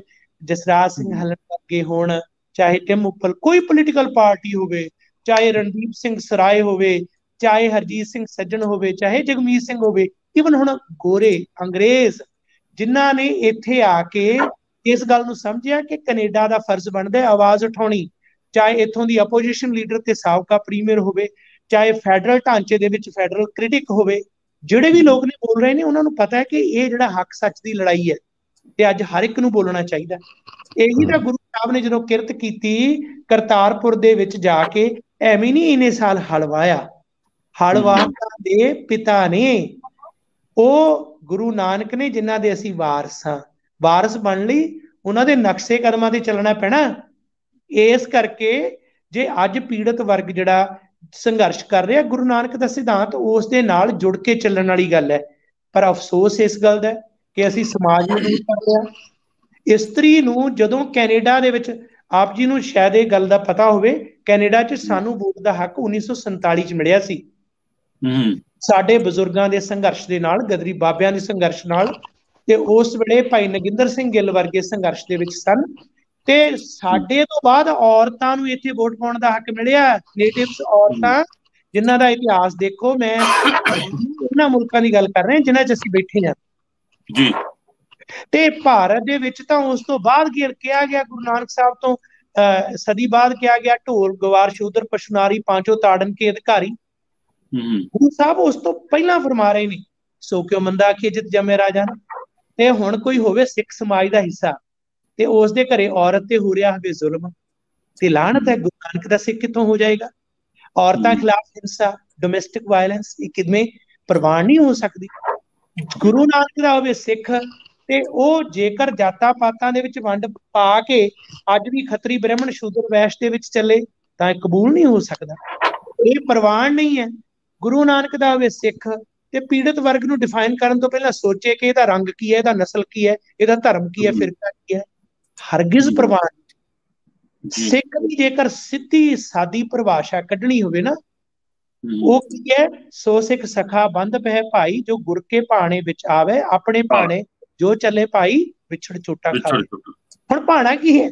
ਭਾਣਾ ਇਹ ਹੈ ਜਿਹੜਾ ਗੁਰੂ ਸਾਹਿਬ ਨੇ ਕਰਕੇ ਵਿਖਾਇਆ ਕਿ ਨੀਚਾ ਅੰਦਰ ਨੀਚ ਜਾਤ ਕਮਜ਼ੋਰ ਵਰਗ ਨਾਲ ਕੌਣ ਢਾਡੀ ਜਾਂ ਨੀਚ ਜਾਤ? ਗੁਰੂ ਸਾਹਿਬ ਆਪਣੇ ਆਪ ਨੂੰ ਮਾਨ ਕਰਦੇ ਦੱਸ। ਰੁਤਮ ਜਾਤ ਸਦਾਈ ਦਾ। ਜੇ ਡੈਫੀਨੇਸ਼ਨ ਸਿੱਖ ਦੀ ਕੱਢੀ ਹੈ ਤਾਂ ਇਹ ਬਾਅਦ ਚ ਗੱਲ ਹੈ ਕਿ ਉਹ ਅੰਮ੍ਰਿਤਧਾਰੀ ਸਜ ਗਿਆ ਉਸਨੇ ਪੂਰਾ ਕਕਾਰ ਸਜਾਏ ਹੈ ਰਹਿਤ ਵਹਿਤ ਚ ਮੁਕੰਮਲ ਹੈ ਸਾਬਤ ਸੂਰਤ ਹੈ। ਇਹ ਤਾਂ ਬਹੁਤ ਚੰਗੀਆਂ ਗੱਲਾਂ ਨੇ ਬਹੁਤ ਚੰਗੀਆਂ ਨੇ। ਇਹ ਸਾਡੇ ਵਾਸਤੇ ਗੁਰੂ ਸਾਹਿਬ ਨੇ ਸਿੱਖ ਦੇ ਵਾਸਤੇ ਬਖਸ਼ੀਆਂ ਨੇ। ਪਰ ਜੇ ਓਵਰਆਲ ਦੇਖਣਾ ਹੋਵੇ ਨਾ ਦੁਨੀਆ ਦੇ ਕਿਸੇ ਵੀ ਕੋਨੇ 'ਚ ਕੋਈ ਵੀ ਬੰਦਾ ਚਾਹੇ ਉਹਦੀ ਰਹਿਤ ਬਹਿਤ ਜਾਂ ਰਹਿਣ ਸਹਿਣ ਦੇ ਵਿੱਚ ਕਿਤੇ ਨਾ ਕਿਤੇ ਕੋਈ ਖੂਨ ਨਹੀਂ ਹੈ ਪਰ ਉਹਦੀ ਸਿੰਪਲ ਭਾਸ਼ਾ ਇਹ ਹੈ ਸਿੱਖ ਉਹ ਹੈ ਜਿਹੜਾ ਸਥਾਪਤੀ ਦੇ ਖਿਲਾਫ ਲੜਦਾ ਹੈ ਤੇ ਪੀੜਤ ਦੇ ਲੜਦਾ ਹੈ। ਵਾਹ। ਇੱਕੋ ਸਤਰ ਦੇ ਵਿੱਚ ਸਿੱਖ ਦੀ ਪਰਿਭਾਸ਼ਾ ਕਮਜ਼ੋਰ ਨਾਲ ਖੜਨਾ ਸਥਾਪਤੀ ਦੇ ਖਿਲਾਫ ਲੜਨਾ। ਜੇ ਸਥਾਪਤੀ ਦਾ ਅੰਗ ਬਣ ਗਿਆ ਉਹ ਗੁਰੂ ਦਾ ਸਿੱਖ ਨਹੀਂ ਹੋ ਸਕਦਾ। ਕੀ ਬਾਤ ਹੈ। ਜਦੋਂ ਬਾਬਰ ਨੂੰ ਜਾਬਰ ਕਿਹਾ ਉਸ ਵੇਲੇ ਗੁਰੂ ਸਾਹਿਬ ਸਥਾਪਤੀ ਦੇ ਖਿਲਾਫ ਖੜੇ ਹਾਲਾਂਕਿ ਬਾਅਦ ਦੇ ਵਿੱਚ ਬੰਦੀ ਛੋੜ ਬਣੇ। ਗੁਰੂ ਸਾਹਿਬ ਨੂੰ ਗ੍ਰਿਫਤਾਰ ਕੀਤਾ ਗਿਆ। ਗੁਰੂ ਸਾਹਿਬ ਜਦੋਂ ਮੁਕਤ ਹੋਣ ਲੱਗੇ ਉਸ ਵੇਲੇ ਗੁਰੂ ਸਾਹਿਬ ਨੇ ਕਿਹਾ ਮੈਂ ਨਹੀਂ ਬਾਹਰ ਜਾਣਾ ਜਿਹੜੇ ਕਮਜ਼ੋਰ ਤੂੰ ਇਸ ਵੇਲੇ ਬੰਦੀ ਬਣਾਏ ਹੋਏ ਨੇ ਨਾ ਇਹਨਾਂ ਨੂੰ ਛੱਡੇਗਾ ਤਾਂ ਮੈਂ ਜਾਵਾਂਗਾ। ਇਹ ਇਤਿਹਾਸਿਕ ਪੱਖ ਹੈ ਸਾਡੀਆਂ ਇਤਿਹਾਸਕ ਕਥਾਵਾਂ ਦੇ ਵਿੱਚ ਹੈ ਕਿ ਬਾਬਰ ਨੇ ਆਖਰਕਾਰ ਆਪਣੇ ਹਥਿਆਰ ਸੁੱਟ ਕੇ ਉਹਨਾਂ ਨੂੰ ਛੱਡਿਆ। ਉਹ ਮੁਕਤ ਹੋਏ। ਇੱਕ ਵਾਰ ਨਹੀਂ ਅੱਜ ਇੱਕ ਹੋਰ ਘਟਨਾ ਮੈਂ ਆਪ ਜੀ ਨੂੰ ਦੱਸਦਾ। ਉਹਦਾ ਲੰਮਾ ਆਪਣੇ ਆਪ ਚ ਬੇਰਵਾ ਇੱਕ ਕਿਤਾਬ ਹਿਊ ਥਾਮਸ ਦੀ ਹੈ। ਕਾਫੀ ਪੁਰਾਣੀ ਕਿਤਾਬ ਹੈ ਇਹ ਤੁਹਾਡੇ ਨਾਲ ਜ਼ਿਕਰ ਕਰ ਰਿਹਾ ਕਿਉਂਕਿ ਬੜੇ ਪੜ੍ਹੇ ਲਿਖੇ ਬੁੱਧੀਜੀਵੀ ਯੂਨੀਵਰਸਿਟੀਆਂ ਦੇ ਪ੍ਰੋਫੈਸਰ ਸਹਿਬਾਨ ਇਹ ਪ੍ਰੋਗਰਾਮ 'ਚ ਸ਼ਾਮਲ ਨੇ। ਕਿਤਾਬ ਦਾ ਨਾਮ slave trade in north Atlantic Europe slave trade in north Atlantic Europe Hugh Thomas ਦੀ ਕਿਤਾਬ ਹੈ ਇਹਦੇ ਵਿੱਚ ਇੱਕ ਮੰਡੀ ਦਾ ਜ਼ਿਕਰ ਹੈ ਜੀ। ਇਹ ਕਿਤਾਬ ਜਦੋਂ ਲਿਖੀ ਗਈ ਇਹਦਾ ਸਮਾਂ ਕਾਲ ਹੈ। ਦਰਸਲ ਇਹ ਘਟਨਾ ਦਾ ਸਮਾਂ ਕਾਲ ਹੈ ਜਿਹੜਾ ਉਹ 16ਵੀਂ ਸਦੀ ਦੇ ਵਿੱਚ 1519 ਦੀ 21 ਦੇ ਦੌਰਾਨ ਉਸ ਸਮੇਂ ਦੇ ਵਿੱਚ। ਦਰਸਲ ਇਸ ਕਿਤਾਬ ਦੇ ਬਾਰੇ ਇਸ ਦੀ ਪਿੱਠ ਭੂਮੀ ਕੀ ਹੈ ਕਿ ਸਪੇਨ ਦੇ ਵਿੱਚ ਜਿਸ ਤਰੀਕੇ ਨਾਲ ਉਸ ਵੇਲੇ ਗੁਲਾਮਾਂ ਦੀ ਮੰਡੀ ਲੱਗਦੀ ਸੀ ਨਾ ਤੇ ਉਹ ਮੰਡੀ ਗੁਲਾਮ ਜਿਹੜੇ ਸਨ ਉਹਨਾਂ ਨੂੰ ਵੇਚਿਆ ਜਾਂਦਾ ਸੀ ਫਿਰ ਜਿਸ ਤਰੀਕੇ ਨਾਲ ਉਹਨਾਂ ਦਾ ਵਪਾਰ ਹੁੰਦਾ ਸੀ ਇਹ ਉਸ ਵੇਲੇ ਪੋਪ ਦੇ ਅਖਤਿਆਰਾਂ ਦੇ ਵਿੱਚ ਵੀ ਸੀ। ਈਵਨ ਬਹੁਤ ਜਿਹੜੇ ਉਸ ਵੇਲੇ ਦੇ ਕਹਿੰਦੇ ਕਹਾਉਂਦੇ ਸਨ ਉਹ ਇਸ ਗੱਲ ਨੂੰ ਕਬੂਲ ਕਰਦੇ ਸਨ ਕਿ ਕਾਲੇ ਲੋਕ ਤਾਂ ਵੇਚਣ ਵਾਸਤੇ ਨੇ ਇਹਨਾਂ ਨੂੰ ਲਿਆਂਦਾ ਜਾ ਹੁਣ ਮੈਂ ਉਸ ਕਿਤਾਬ ਦੇ ਹਵਾਲੇ ਦੇ ਨਾਲ ਦੱਸਦਾ ਉਸ ਦੇ ਵਿੱਚ ਇੱਕ ਸ਼ਬਦ ਆਇਆ। ਸ਼ਬਦ ਪਤਾ ਕੀ ਆਇਆ? ਆਪ ਜੀ ਹੈਰਾਨ ਹੋਵੋਗੇ ਇਹ ਖੋਜ ਦਾ ਵਿਸ਼ਾ ਨੈਨਕਸ ਇੰਡਿਕਸ ਸ਼ਬਦ ਸੰਬੋਧਨ ਕਰਦੇ ਉਸਨੇ ਉਸ ਲਿਖਿਆ ਕਿ ਜਦੋਂ ਇਹਨਾਂ ਗੁਲਾਮਾਂ ਨੂੰ ਲਿਆਂਦਾ ਜਾ ਰਿਹਾ ਸੀ ਬਹੁਤ ਵੱਡੇ ਪੱਧਰ ਤੇ ਤੇ ਉਹਦੇ ਵਿੱਚ ਇਹਨਾਂ ਤੋਂ ਵੱਖਰੇ ਰੰਗ ਦਾ ਇੱਕ ਸ਼ਖਸ ਸੀ ਜਿਹਦੇ ਬਾਰੇ ਉਹਨੇ ਸ਼ਬਦ ਲੇਖਕ ਨੇ ਯੂ ਥਾਮਸ ਨੇ ਵਰਤਿਆ slave trade in North Atlantic ਦੇ ਵਿੱਚ ਨੈਨਕਸ ਇੰਡਿਕਸ ਯਾਨੀ ਕਿ ਉਸ ਇੰਡੀਆ ਦੀ ਧਰਤੀ ਤੋਂ ਇੰਡੀਅਨ ਕੰਟੀਨੈਂਟਲ ਤੋਂ ਆਇਆ। ਨੈਨਕਸ ਦਾ ਨਾਮ ਸੀ। ਕੁਝ ਇਸ ਤਰ੍ਹਾਂ ਉਹਨੇ ਉਹ ਸੰਬੋਧਨ ਕੀਤਾ ਤੇ ਇੱਕ ਸੰਗੀਤਕਾਰ ਸੀ ਉਹਨੇ ਕਿਹਾ। ਹੁਣ ਦੇਖੋ ਇਹ ਗੱਲ ਨੂੰ ਬਹੁਤ ਡੂੰਘੇ ਵਿਚਾਰ ਅਰਥਾਂ 'ਚ ਦੇਖਣਾ ਅਸੀਂ ਕਿ ਨਵੀਂ ਖੋਜ ਵਾਲੇ ਵਿਸ਼ੇ ਦੇ ਅੰਤਰਗਤ ਗੱਲ ਕਿ ਜਦੋਂ ਗੁਰੂ ਸਾਹਿਬ ਚੌਥੀ ਉਦਾਸੀ ਦੇ ਵਿੱਚ ਗਏ ਗੁਰੂ ਸਾਹਿਬ ਦੀਆਂ ਤਿੰਨ ਉਦਾਸੀਆਂ ਸਨ ਜਿਹੜੀਆਂ ਉਹ ਤਿੰਨੇ ਉਦਾਸੀਆਂ ਦਰਅਸਲ ਗੁਰੂ ਸਾਹਿਬ ਦੀਆਂ ਉਸ ਵੇਲੇ ਭਾਈ ਮਰਦਾਨਾ ਜੀ ਨਾਲ ਸਨ ਜਿੱਥੋਂ ਗੱਲ ਆਰੰਭ ਹੋਈ। ਪਰ ਚੌਥੀ ਉਦਾਸੀ ਦੇ ਦੌਰਾਨ ਭਾਈ ਮਰਦਾਨਾ ਜੀ ਆਪਣੇ ਸਰੀਰ ਤਿਆਗ ਗਏ ਕਿ ਗੁਰੂ ਚਰਨਾਂ 'ਚ ਜਾ ਬਰਾਜੇ ਹੁਣ ਪਹਿਲੀਆਂ ਤਿੰਨ ਉਦਾਸੀਆਂ ਜਿਹੜੀਆਂ ਨੇ ਉਹਨਾਂ ਉਦਾਸੀਆਂ ਦਾ ਜ਼ਿਕਰ ਕਰਦੇ ਹੋਏ ਜਦੋਂ ਉਦਾਸੀ ਤੋਂ ਗੁਰੂ ਸਾਹਿਬ ਵਾਪਸ ਪਰਦੇ ਸੀ ਭਾਈ ਉਸ ਦਾ ਵਿਖਿਆਨ ਲਿਖਦੇ ਸਨ। ਦੱਸਦੇ ਸਨ। ਜ਼ੁਬਾਨੋ ਜ਼ਨਾਮੀ ਜਿਹਨੂੰ ਕਹਿ ਦੋ ਕਿ ਇਹੋ ਜੀ ਡੈਰੀ ਜਿਹੜੀ ਕਿ ਲਿਖਤ ਰੂਪ ਵਿੱਚ ਨਾ ਵੀ ਹੋਵੇ ਵਾਹੋ ਵਾਹੀ ਚੱਲਦੀ ਹੈ ਇਹਨੂੰ ਕਹਿੰਦੇ ਲੋਕ ਧਰਮ ਦਾ ਹਿੱਸਾ। ਵਾਪਸ ਕੇ ਜਿਹੜੀਆਂ ਸਾਖੀਆਂ ਵੀ ਬਣੀਆਂ ਨਾ ਦਰਅਸਲ ਉਹ ਇਸ ਤਰ੍ਹਾਂ ਬਣੀਆਂ ਗੁਰੂ ਸਾਹਿਬ ਪਹਿਲੀ ਉਦਾਸੀ ਚ ਕਿਵੇਂ ਕਿਵੇਂ ਗਏ। ਗੁਰੂ ਸਾਹਿਬ ਆਪ ਤਾਂ ਕੇਵਲ ਤੇ ਕੇਵਲ ਬਾਣੀ ਉਚਾਰਦੇ ਸਨ। ਭਾਈ ਮਰਦਾਨਾ ਜੀ ਉਹਨਾਂ ਇਕੱਤਰਤਾਵਾਂ ਦੇ ਵਿੱਚ ਦੱਸਦੇ ਸਨ। ਭਾਈ ਜਿੱਥੇ ਗੁਰੂ ਸਾਹਿਬ ਗਏ ਆ ਹੋਇਆ ਇਤੇ ਇਸ ਤਰ੍ਹਾਂ ਸੁਧਾਰ ਕੀਤਾ। ਇਸ ਤਰ੍ਹਾਂ ਜੀਵਨ ਇਹਨਾਂ ਦਾ ਬਦਲਿਆ ਇਉਂ ਸੇ ਦਿੱਤੀ ਉਹ ਹਰੇਕ ਉਦਾਸੀ ਦਾ ਵੀਰਵਾ ਪਰ ਚੌਥੀ ਉਦਾਸੀ ਤੋਂ ਵਾਪਸ ਗੁਰੂ ਸਾਹਿਬ ਜਦੋਂ ਪਰਤੇ ਬਹੁਤ ਕੁਝ ਮਿਸਿੰਗ ਹੈ। ਮਿਲ ਨਹੀਂ ਰਿਹਾ ਅਜੇ ਤੱਕ ਕਿ ਉਸ ਉਦਾਸੀ ਦੇ ਮੁਕੰਮਲ ਸਫ਼ਰ ਦੇ ਦੌਰਾਨ ਗੁਰੂ ਸਾਹਿਬ ਕਿੱਥੇ ਕਿੱਥੇ ਗਏ। ਸਾਨੂੰ ਉਹਨਾਂ ਲੜੀਆਂ ਨੂੰ ਜੋੜਨਾ ਪੈਣਾ ਜੇ ਸਿੱਖ ਇੰਟੈਲੈਕਚੁਅਲ ਜਿਹੜੇ ਸਮਝਦੇ ਨੇ ਕਿ ਅਸੀਂ ਗੁਰੂ ਸਾਹਿਬ ਦਾ ਜਿਹੜਾ ਹੈ ਸਹੀ ਅਰਥਾਂ 'ਚ ਸੰਦੇਸ਼ ਸਮੁੱਚੇ ਵਿਸ਼ਵ ਪੱਧਰੀ ਚਿੰਤਨ ਤੇ ਲਿਜਾਣਾ ਉਹਨੂੰ ਵਿਚਾਰਨਾ ਪੈਣਾ। ਹੁਣ ਇਹਨਾਂ ਸਤਰਾਂ ਦੇ ਵਿਚਕਾਰ ਪੜੋ ਲਾਈਨਾਂ ਦੇ ਵਿਚਕਾਰ ਕਿ ਚੌਥੀ ਉਦਾਸੀ ਜਿਹੜੀ ਸੀ ਉਹ ਸਭ ਤੋਂ ਲੰਮੀ ਉਦਾਸੀ ਸੀ। ਗੁਰੂ ਸਾਹਿਬ ਜਾਣਦੇ ਨੇ ਮੱਕੇ ਮਦੀਨੇ ਦੀਆਂ ਘਟਨਾਵਾਂ ਜਦੋਂ ਅਸੀਂ ਦੇਖਦੇ ਆ ਗੁਰੂ ਸਾਹਿਬ ਨੇ ਮੋਦੀਖਾਨੇ 'ਚ ਸਰਵਿਸ ਕੀਤੀ। ਗੁਰੂ ਸਾਹਿਬ ਪਰਸ਼ੀਅਨ ਦੇ ਮਾਰ ਸਨ ਫਾਰਸੀ ਬਾਣੀ ਜਿਹੜੀ ਹੈ ਫਾਰਸੀ ਦੇ ਵਿੱਚ ਗੁਰੂ ਨਾਨਕ ਸਾਹਿਬ ਦੀ ਪੜਨ ਵਾਲੀ ਬਾਣੀ ਹੈ। ਬੇਸ਼ੱਕ ਸਾਨੂੰ ਫਾਰਸੀ ਦਾ ਗਿਆਨ ਨਹੀਂ ਤੇ ਇਸ ਕਰਕੇ ਅਸੀਂ ਪੜ ਨਹੀਂ ਰਹੇ ਜਾਂ ਪੜ ਨਹੀਂ ਸਕਦੇ। ਪਰ ਗੁਰੂ ਸਾਹਿਬ ਉਸ ਵੇਲੇ ਪੰਜਾਬ ਦੇ ਵਿੱਚ ਜਿਹੜੀ ਭਾਸ਼ਾ ਚੱਲਦੀ ਸੀ ਫਾਰਸੀ ਸੀ। ਉਸੇ ਦੇ ਮਾਹਰ ਸਨ ਗੁਰੂ ਸਾਹਿਬ। ਇਸੇ ਕਾਰਨ ਮੋਦੀ ਖਾਨ ਨੇ ਉਹਨਾਂ ਨੇ ਸਰਵਿਸ ਕੀਤੀ। ਗੁਰੂ ਸਾਹਿਬ ਨੇ ਬਾਣੀ ਰਚੀ। ਗੁਰੂ ਸਾਹਿਬ ਦਾ ਜਦੋਂ ਮੱਕੇ ਮਦੀਨੇ ਤੋਂ ਜਾਂਦਿਆਂ ਹੋਇਆਂ ਅਗਾਹ ਤੁਰਦਿਆਂ ਹੋਇਆਂ ਸਫ਼ਰ ਤੈਅ ਹੋਇਆ ਤੇ ਉਸ ਵੇਲੇ ਉਹ ਜ਼ੁਬਾਨ ਜਿਹੜੀ ਫਾਰਸੀ ਦੀ ਸੀ ਉਹਨਾਂ ਨੇ ਵਰਤੀ ਗੁਰੂ ਸਾਹਿਬ ਨੇ। ਹੁਣ ਆ ਜਿਹੜੀ ਕਿਤਾਬ ਹੈ ਜਿਹੜੀ ਕਿਤਾਬ 1520 25 ਦੇ ਸਫ਼ਰ ਨੂੰ ਬਿਆਨ ਕਰਦੀ ਹੈ ਤੁਸੀਂ ਹੈਰਾਨ ਹੋਵੋਗੇ ਕਿ ਉਸ ਕਿਤਾਬ ਦੇ ਵੇਰਵੇ ਜੇਕਰ ਪੜੋ ਨਾ ਤਾਂ ਉਹ ਟੁਕੜਿਆਂ ਨੂੰ ਜੋੜਨ ਵਾਲੀ ਗੱਲ ਹੈ ਜਿਹੜੀ ਅੱਜ ਸਾਡਾ ਫਰਜ਼ ਹੈ। ਉਹ ਕਹਿੰਦੇ ਨੇ ਕਿ ਹੋਇਆ ਕੀ ਕਿ ਗੁਲਾਮਾਂ ਨੂੰ ਜਦੋਂ ਬਣਾਇਆ ਹੋਇਆ ਸੀ ਇਕੱਠਿਆਂ ਕੀਤਾ ਸੀ ਤਾਂ ਉੱਥੇ ਦੋ ਇਸ ਤਰ੍ਹਾਂ ਦੇ ਸਨ ਜਿਨ੍ਹਾਂ ਦਾ ਜਿਹੜਾ ਅਸੀਂ ਮਤਲਬ ਬਿਆਨ ਕਰੀਏ ਉਹਨਾਂ ਦਾ ਦਿੱਖ ਰੂਪ ਬਿਲਕੁਲ ਵੱਖਰਾ ਸੀ ਟੋਟਲੀ ਅਲੱਗ ਸੀ। ਤੇ ਉਹ ਅਲੱਗ ਰੂਪ ਆ ਜਿਹੜਾ ਉਸ ਰੂਪ ਨੂੰ ਦੇਖਦੇ ਹੋਏ ਉਹ ਕਹਿੰਦੇ ਵੀ ਇਹ ਕੁਝ ਹੋਰ ਕਿਤੋਂ ਫੜੇ ਗਏ ਨੇ? ਪਰ ਗੁਰੂ ਸਾਹਿਬ ਅਸਲ ਦੇ ਵਿੱਚ ਜਦੋਂ ਜਿੰਨਾ ਮੱਧ ਏਸ਼ੀਆ ਦੇ ਮੁਲਕਾਂ ਦੇ ਵਿੱਚੋਂ ਗੁਲਾਮ ਲਿਆਂਦੇ ਜਾਂਦੇ ਸਨ ਉੱਥੇ ਇਹ ਵੀ ਮੌਜੂਦ ਸਨ। ਇਹ ਕਿਹਾ ਜਾਂਦਾ ਹੈ ਕਿ ਗੁਰੂ ਸਾਹਿਬ ਉਹਨਾਂ ਦੇ ਨਾਲ ਹੀ ਸਨ। ਬਾਕੀ ਸਿਆਹ ਮੂਲ ਸਨ। ਉਹਨਾਂ ਚੋਂ ਸਿਆਹ ਮੂਲ ਦੀ ਜਿਹੜੀ ਔਰਤ ਇੱਕ ਔਰਤ ਉਸ ਵੇਲੇ ਸੇਵਾ ਕਰ ਰਹੀ ਹੈ। ਗੁਰੂ ਸਾਹਿਬ ਕਹਿੰਦੇ ਕਿ ਇਹ ਜਿਹੜਾ ਕਿਲਾ ਇਸ ਦਾ ਜਿਹੜਾ ਤਾਲਾ ਤੋੜਨ ਦੇ ਵਾਸਤੇ ਇਹ ਬੱਚੀ ਜਿਹੜੀ ਹੈ ਆਪਣੇ ਹੱਥਾਂ ਦੇ ਨਾਲ ਹਸਤ ਕਮਲਾਂ ਨਾਲ ਛੋਏਗੀ ਤਾਂ ਖੁੱਲ ਜਾਏਗਾ। ਇਸ ਤਰ੍ਹਾਂ ਦਾ ਵਰਤਾਂਤ ਉਸਨੇ ਲਿਖਿਆ ਉਸ ਕਿਤਾਬ ਦੇ ਵਿੱਚ ਤੇ ਇਹ ਲਿਖਿਆ ਕਿ ਉਹਨੇ ਜਦੋਂ ਉਸ ਨੂੰ ਹੱਥ ਪਾਇਆ ਤਾਂ ਉਹ ਤਾਲਾ ਖੁੱਲ ਗਿਆ। ਉਸ ਵੇਲੇ ਜਿਹੜੇ ਗ੍ਰਿਫਤਾਰ ਕਰ ਰਹੇ ਸਨ ਉਹ ਗੁਰੂ ਸਾਹਿਬ ਦੇ ਚਰਨਾਂ 'ਚ ਢਹਿ ਪਏ। ਗੁਰੂ ਸਾਹਿਬ ਕਹਿੰਦੇ ਤੁਸੀਂ ਇਹਨਾਂ ਲੋਕਾਂ ਤੇ ਜ਼ੁਲਮ ਕਰ ਰਹੇ ਹੋ ਇਹਨਾਂ ਨੂੰ ਗੁਲਾਮ ਬਣਾਇਆ ਗਿਆ। ਇਹ ਬਹੁਤ ਮੰਦਭਾਗੀ ਘਟਨਾ ਹੈ। ਇਹਨਾਂ ਨੂੰ ਮੁਕਤ ਕਰੋ। ਇਹ ਵੇਰਵਾ ਕਿਤਾਬ ਦੇ ਵਿੱਚ ਆਉਂਦਾ ਹੈ ਕਿ ਉਹ ਆਪ ਨਹੀਂ ਬਲਕਿ ਉਹਨਾਂ ਨੂੰ ਵੀ ਗੁਰੂ ਸਾਹਿਬ ਨੇ ਛੜਾਇਆ ਉਹ ਸਮੇਂ ਜਦੋਂ ਇਹ ਸਪੇਨ ਦੇ ਵਿੱਚ ਗੁਲਾਮ ਬਣਾ ਕੇ ਲਿਜਾਏ ਜਾ ਰਹੇ ਸਨ ਉਸ ਵੇਲੇ ਪੋਪ ਬਕਾਇਦਾ ਤੌਰ ਤੇ ਈਸਾਈਅਤ ਦੀ ਅਗਵਾਈ ਕਰਦਾ ਸੀ। ਉਹ ਸਮਾਂ ਸੀ ਜਿਹੜਾ ਮਾਰਟਨ ਲੂਥਰ ਕਿੰਗ ਦਾ ਸਮਾਂ ਸੀ। ਇੱਕ ਐਸਾ ਹਵਾਲਾ ਆਉਂਦਾ ਹੈ ਕਿ ਮਾਰਟਨ ਲੂਥਰ ਕਿੰਗ ਦਾ ਜਿਹੜਾ ਉਹ ਵੇਲਾ ਸੀ ਉਸ ਵੇਲੇ ਦੇ ਦੌਰਾਨ ਗੁਰੂ ਸਾਹਿਬ ਦੀਆਂ ਮੁਲਾਕਾਤਾਂ ਉਸ ਵੇਲੇ ਦੇ ਕੌਮਾਂਤਰੀ ਪੱਧਰ ਦੇ ਜਿਹੜੇ ਰੂਹਾਨੀ ਵੱਖ-ਵੱਖ ਆਗੂ ਹਨ ਉਹਨਾਂ ਨਾਲ ਹੋਈਆਂ। ਤੇ ਵੇਰਵਾ ਇਹ ਆਉਂਦਾ ਕਿ ਇਹ ਰੂਹ ਜਿਹੜੀ ਸੀ ਇੱਕ ਸੰਗੀਤਕਾਰ ਨੂੰ ਲੈ ਕੇ ਪਰਸ਼ੀਅਨ ਭਾਸ਼ਾ ਦੀ ਸਾਂਝ ਸੀ। ਮਾਰਟਨ ਲੂਥਰ ਕਿੰਗ ਦੇ ਸਮੇਂ ਦੇ ਦੌਰਾਨ ਉਸ ਵੇਲੇ ਪੋਪ ਦੇ ਨਾਲ ਵੀ ਇੱਕ ਸੰਦੇਸ਼ਵਾਹਕ ਦੇ ਰੂਪ ਦੇ ਵਿੱਚ ਉਹ ਮੌਜੂਦ ਸਨ। ਇਹ ਬਚਨ ਬਲਾਸ ਹੋਏ। ਤੁਸੀਂ ਹੈਰਾਨ ਹੋਵੋਗੇ ਇਹ ਗੱਲ ਸੁਣ ਕੇ ਕਿ ਜਿਹੜੀਆਂ ਪੇਂਟਿੰਗ ਅਜੇ ਵੀ ਜਿਹੜੀਆਂ ਬਣੀਆਂ ਖਾਸ ਤੌਰ ਤੇ ਪੋਪ ਦੇ ਸਥਾਨ ਤੇ ਜਾਂ ਜਿੱਥੇ ਈਸਾਈ ਲੋਕਾਂ ਦਾ ਕੇਂਦਰ ਸਥਾਨ ਹੈ ਉੱਥੇ ਇਸ ਤਰ੍ਹਾਂ ਦੇ ਚਿਹਨ ਆਕਾਰ ਉਲੀਕੇ ਹੋਏ ਨੇ ਕਿ ਇੰਡੀਆ ਤੋਂ ਇੱਕ ਸ਼ਖਸੀਅਤ ਤੇ ਉਹਦੇ ਨਾਲ ਇੱਕ ਸੰਗੀਤਕਾਰ ਇੱਥੇ ਆਇਆ। ਤੇ ਇਹ ਲੈਟਨ ਭਾਸ਼ਾ ਜਿਹੜੀ ਸੀ ਉਹ ਟਰਾਂਸਲੇਟ ਕਰਕੇ ਉਹ ਦੱਸ ਰਹੇ ਸਨ ਤੇ ਗੁਰੂ ਸਾਹਿਬ ਗੱਲ ਕਰ ਰਹੇ ਸਨ ਜਿਹੜੀ ਤਾਰਾ ਵਿਗਿਆਨ ਦੀ ਗੱਲ ਹੈ ਜਿਹੜੀ ਵੱਖ-ਵੱਖ ਸਾਇੰਸਾਂ ਦੀ ਗੱਲ ਹੈ ਗੁਰੂ ਸਾਹਿਬ ਨੇ ਜਿਹੜੀ ਗੱਲ ਨੂੰ ਉਚਾਰਿਆ ਸੀ ਜਪਜੀ ਦੇ ਵਿੱਚ ਬਕਾਇਦਾ ਤੌਰ ਤੇ ਫਰਮਾਨ ਕੀਤਾ ਸੀ ਇਸ ਗੱਲ ਤੇ ਵੀ ਗੁਰੂ ਸਾਹਿਬ ਨੇ ਉਸ ਵੇਲੇ ਕਿਹਾ ਕਿ ਜਿਸ ਤਰ੍ਹਾਂ ਦਾ ਇਹ ਅਲੱਗ ਕਿਸਮ ਦਾ ਇੱਕ ਗੁਲਾਮਾਂ ਨੂੰ ਆਪਣੇ ਅਧੀਨ ਕਰਨ ਵਾਲੀ ਸੋਚ ਹੈ ਜਾਂ ਜਿਸ ਤਰ੍ਹਾਂ ਦਾ ਇਹ ਪਸਾਰਾ ਹੈ ਕਿ ਧਰਤੀ ਦੀ ਬਣਤਰ ਦੇ ਵਾਸਤੇ ਤੁਸੀਂ ਇਹ ਉਲੀਕਿਆ ਹੋਇਆ ਹੈ ਇਹ ਸਾਰੀਆਂ ਗੱਲਾਂ ਸੀਮਤ ਨੇ। ਇਹਨਾਂ ਤੋਂ ਮੁਕਤ ਹੋਵੋ ਪਹਿਲਾਂ ਤਾਂ ਗੁਲਾਮਾਂ ਦੀ ਸੋਚ ਨੂੰ ਤਿਆਗੋ। ਇਹ ਮੰਨਿਆ ਜਾਂਦਾ ਹੈ ਕਿ ਗੁਰੂ ਸਾਹਿਬ ਦੀ ਪ੍ਰੇਰਣਾ ਤੋਂ ਬਾਅਦ ਇਹ ਗੁਲਾਮਾਂ ਦੀ ਪ੍ਰਵਿਰਤੀ 16ਵੀਂ ਸਦੀ ਤੋਂ ਯੂਰਪ ਦੇ ਉਹਨਾਂ ਇਲਾਕਿਆਂ ਚੋਂ ਮੁਕਤ ਹੋਈ ਬਾਅਦ ਚ ਅਮਰੀਕਾ ਜਾਂ ਕੁਝ ਇਧਰਲੇ ਇਲਾਕਿਆਂ 'ਚ ਚੱਲਦੀ ਰਹੀ। ਇਹ ਬਹੁਤ ਵੱਡੀ ਗੱਲ ਸੀ। ਜਿਸ ਨੂੰ ਅਜੇ ਤੱਕ ਸਾਡੇ ਇਤਿਹਾਸਕਾਰਾਂ ਨੇ ਖੋਜਣਾ ਹੈ ਵਿਚਾਰਨਾ ਹੈ। ਇਸ ਕਿਤਾਬ ਨੂੰ ਆਧਾਰ ਬਣਾ ਕੇ ਅਸੀਂ ਬਹੁਤ ਗਿਆਨ ਲੈ ਸਕਦੇ ਹਾਂ ਤੇ ਈਵਨ ਜਦੋਂ ਧਰਤੀ ਦੀ ਗੱਲ ਵੀ ਹੈ ਜਿਨ੍ਹਾਂ 'ਚ ਗੁਰੂ ਸਾਹਿਬ ਫਰਮਾਨ ਕਰਦੇ ਨੇ ਲੱਖ ਪਤਾਲਾ ਪਤਾਲਾ ਕਾਸ਼ਾਂ ਆਗਾਸ਼ ਦੀ ਗੱਲ ਕਰਦੇ ਆ ਜਾ ਕਰਤਾ ਸ੍ਰਿਸ਼ਟੀ ਕੋ ਸਾਜੇ, ਆਪੇ ਜਾਣੇ ਸੋਈ ਉਸ ਦੀ ਗੱਲ ਕਰਦੇ ਆ। ਉਹ ਪ੍ਰਮਾਣ ਜਿਹੜੇ ਸਾਰੇ ਨੇ ਇਸ ਗੱਲ ਦੀ ਬਕਾਇਦਾ ਤੌਰ ਤੇ ਵਿਆਖਿਆ ਕਰਦੇ ਆ।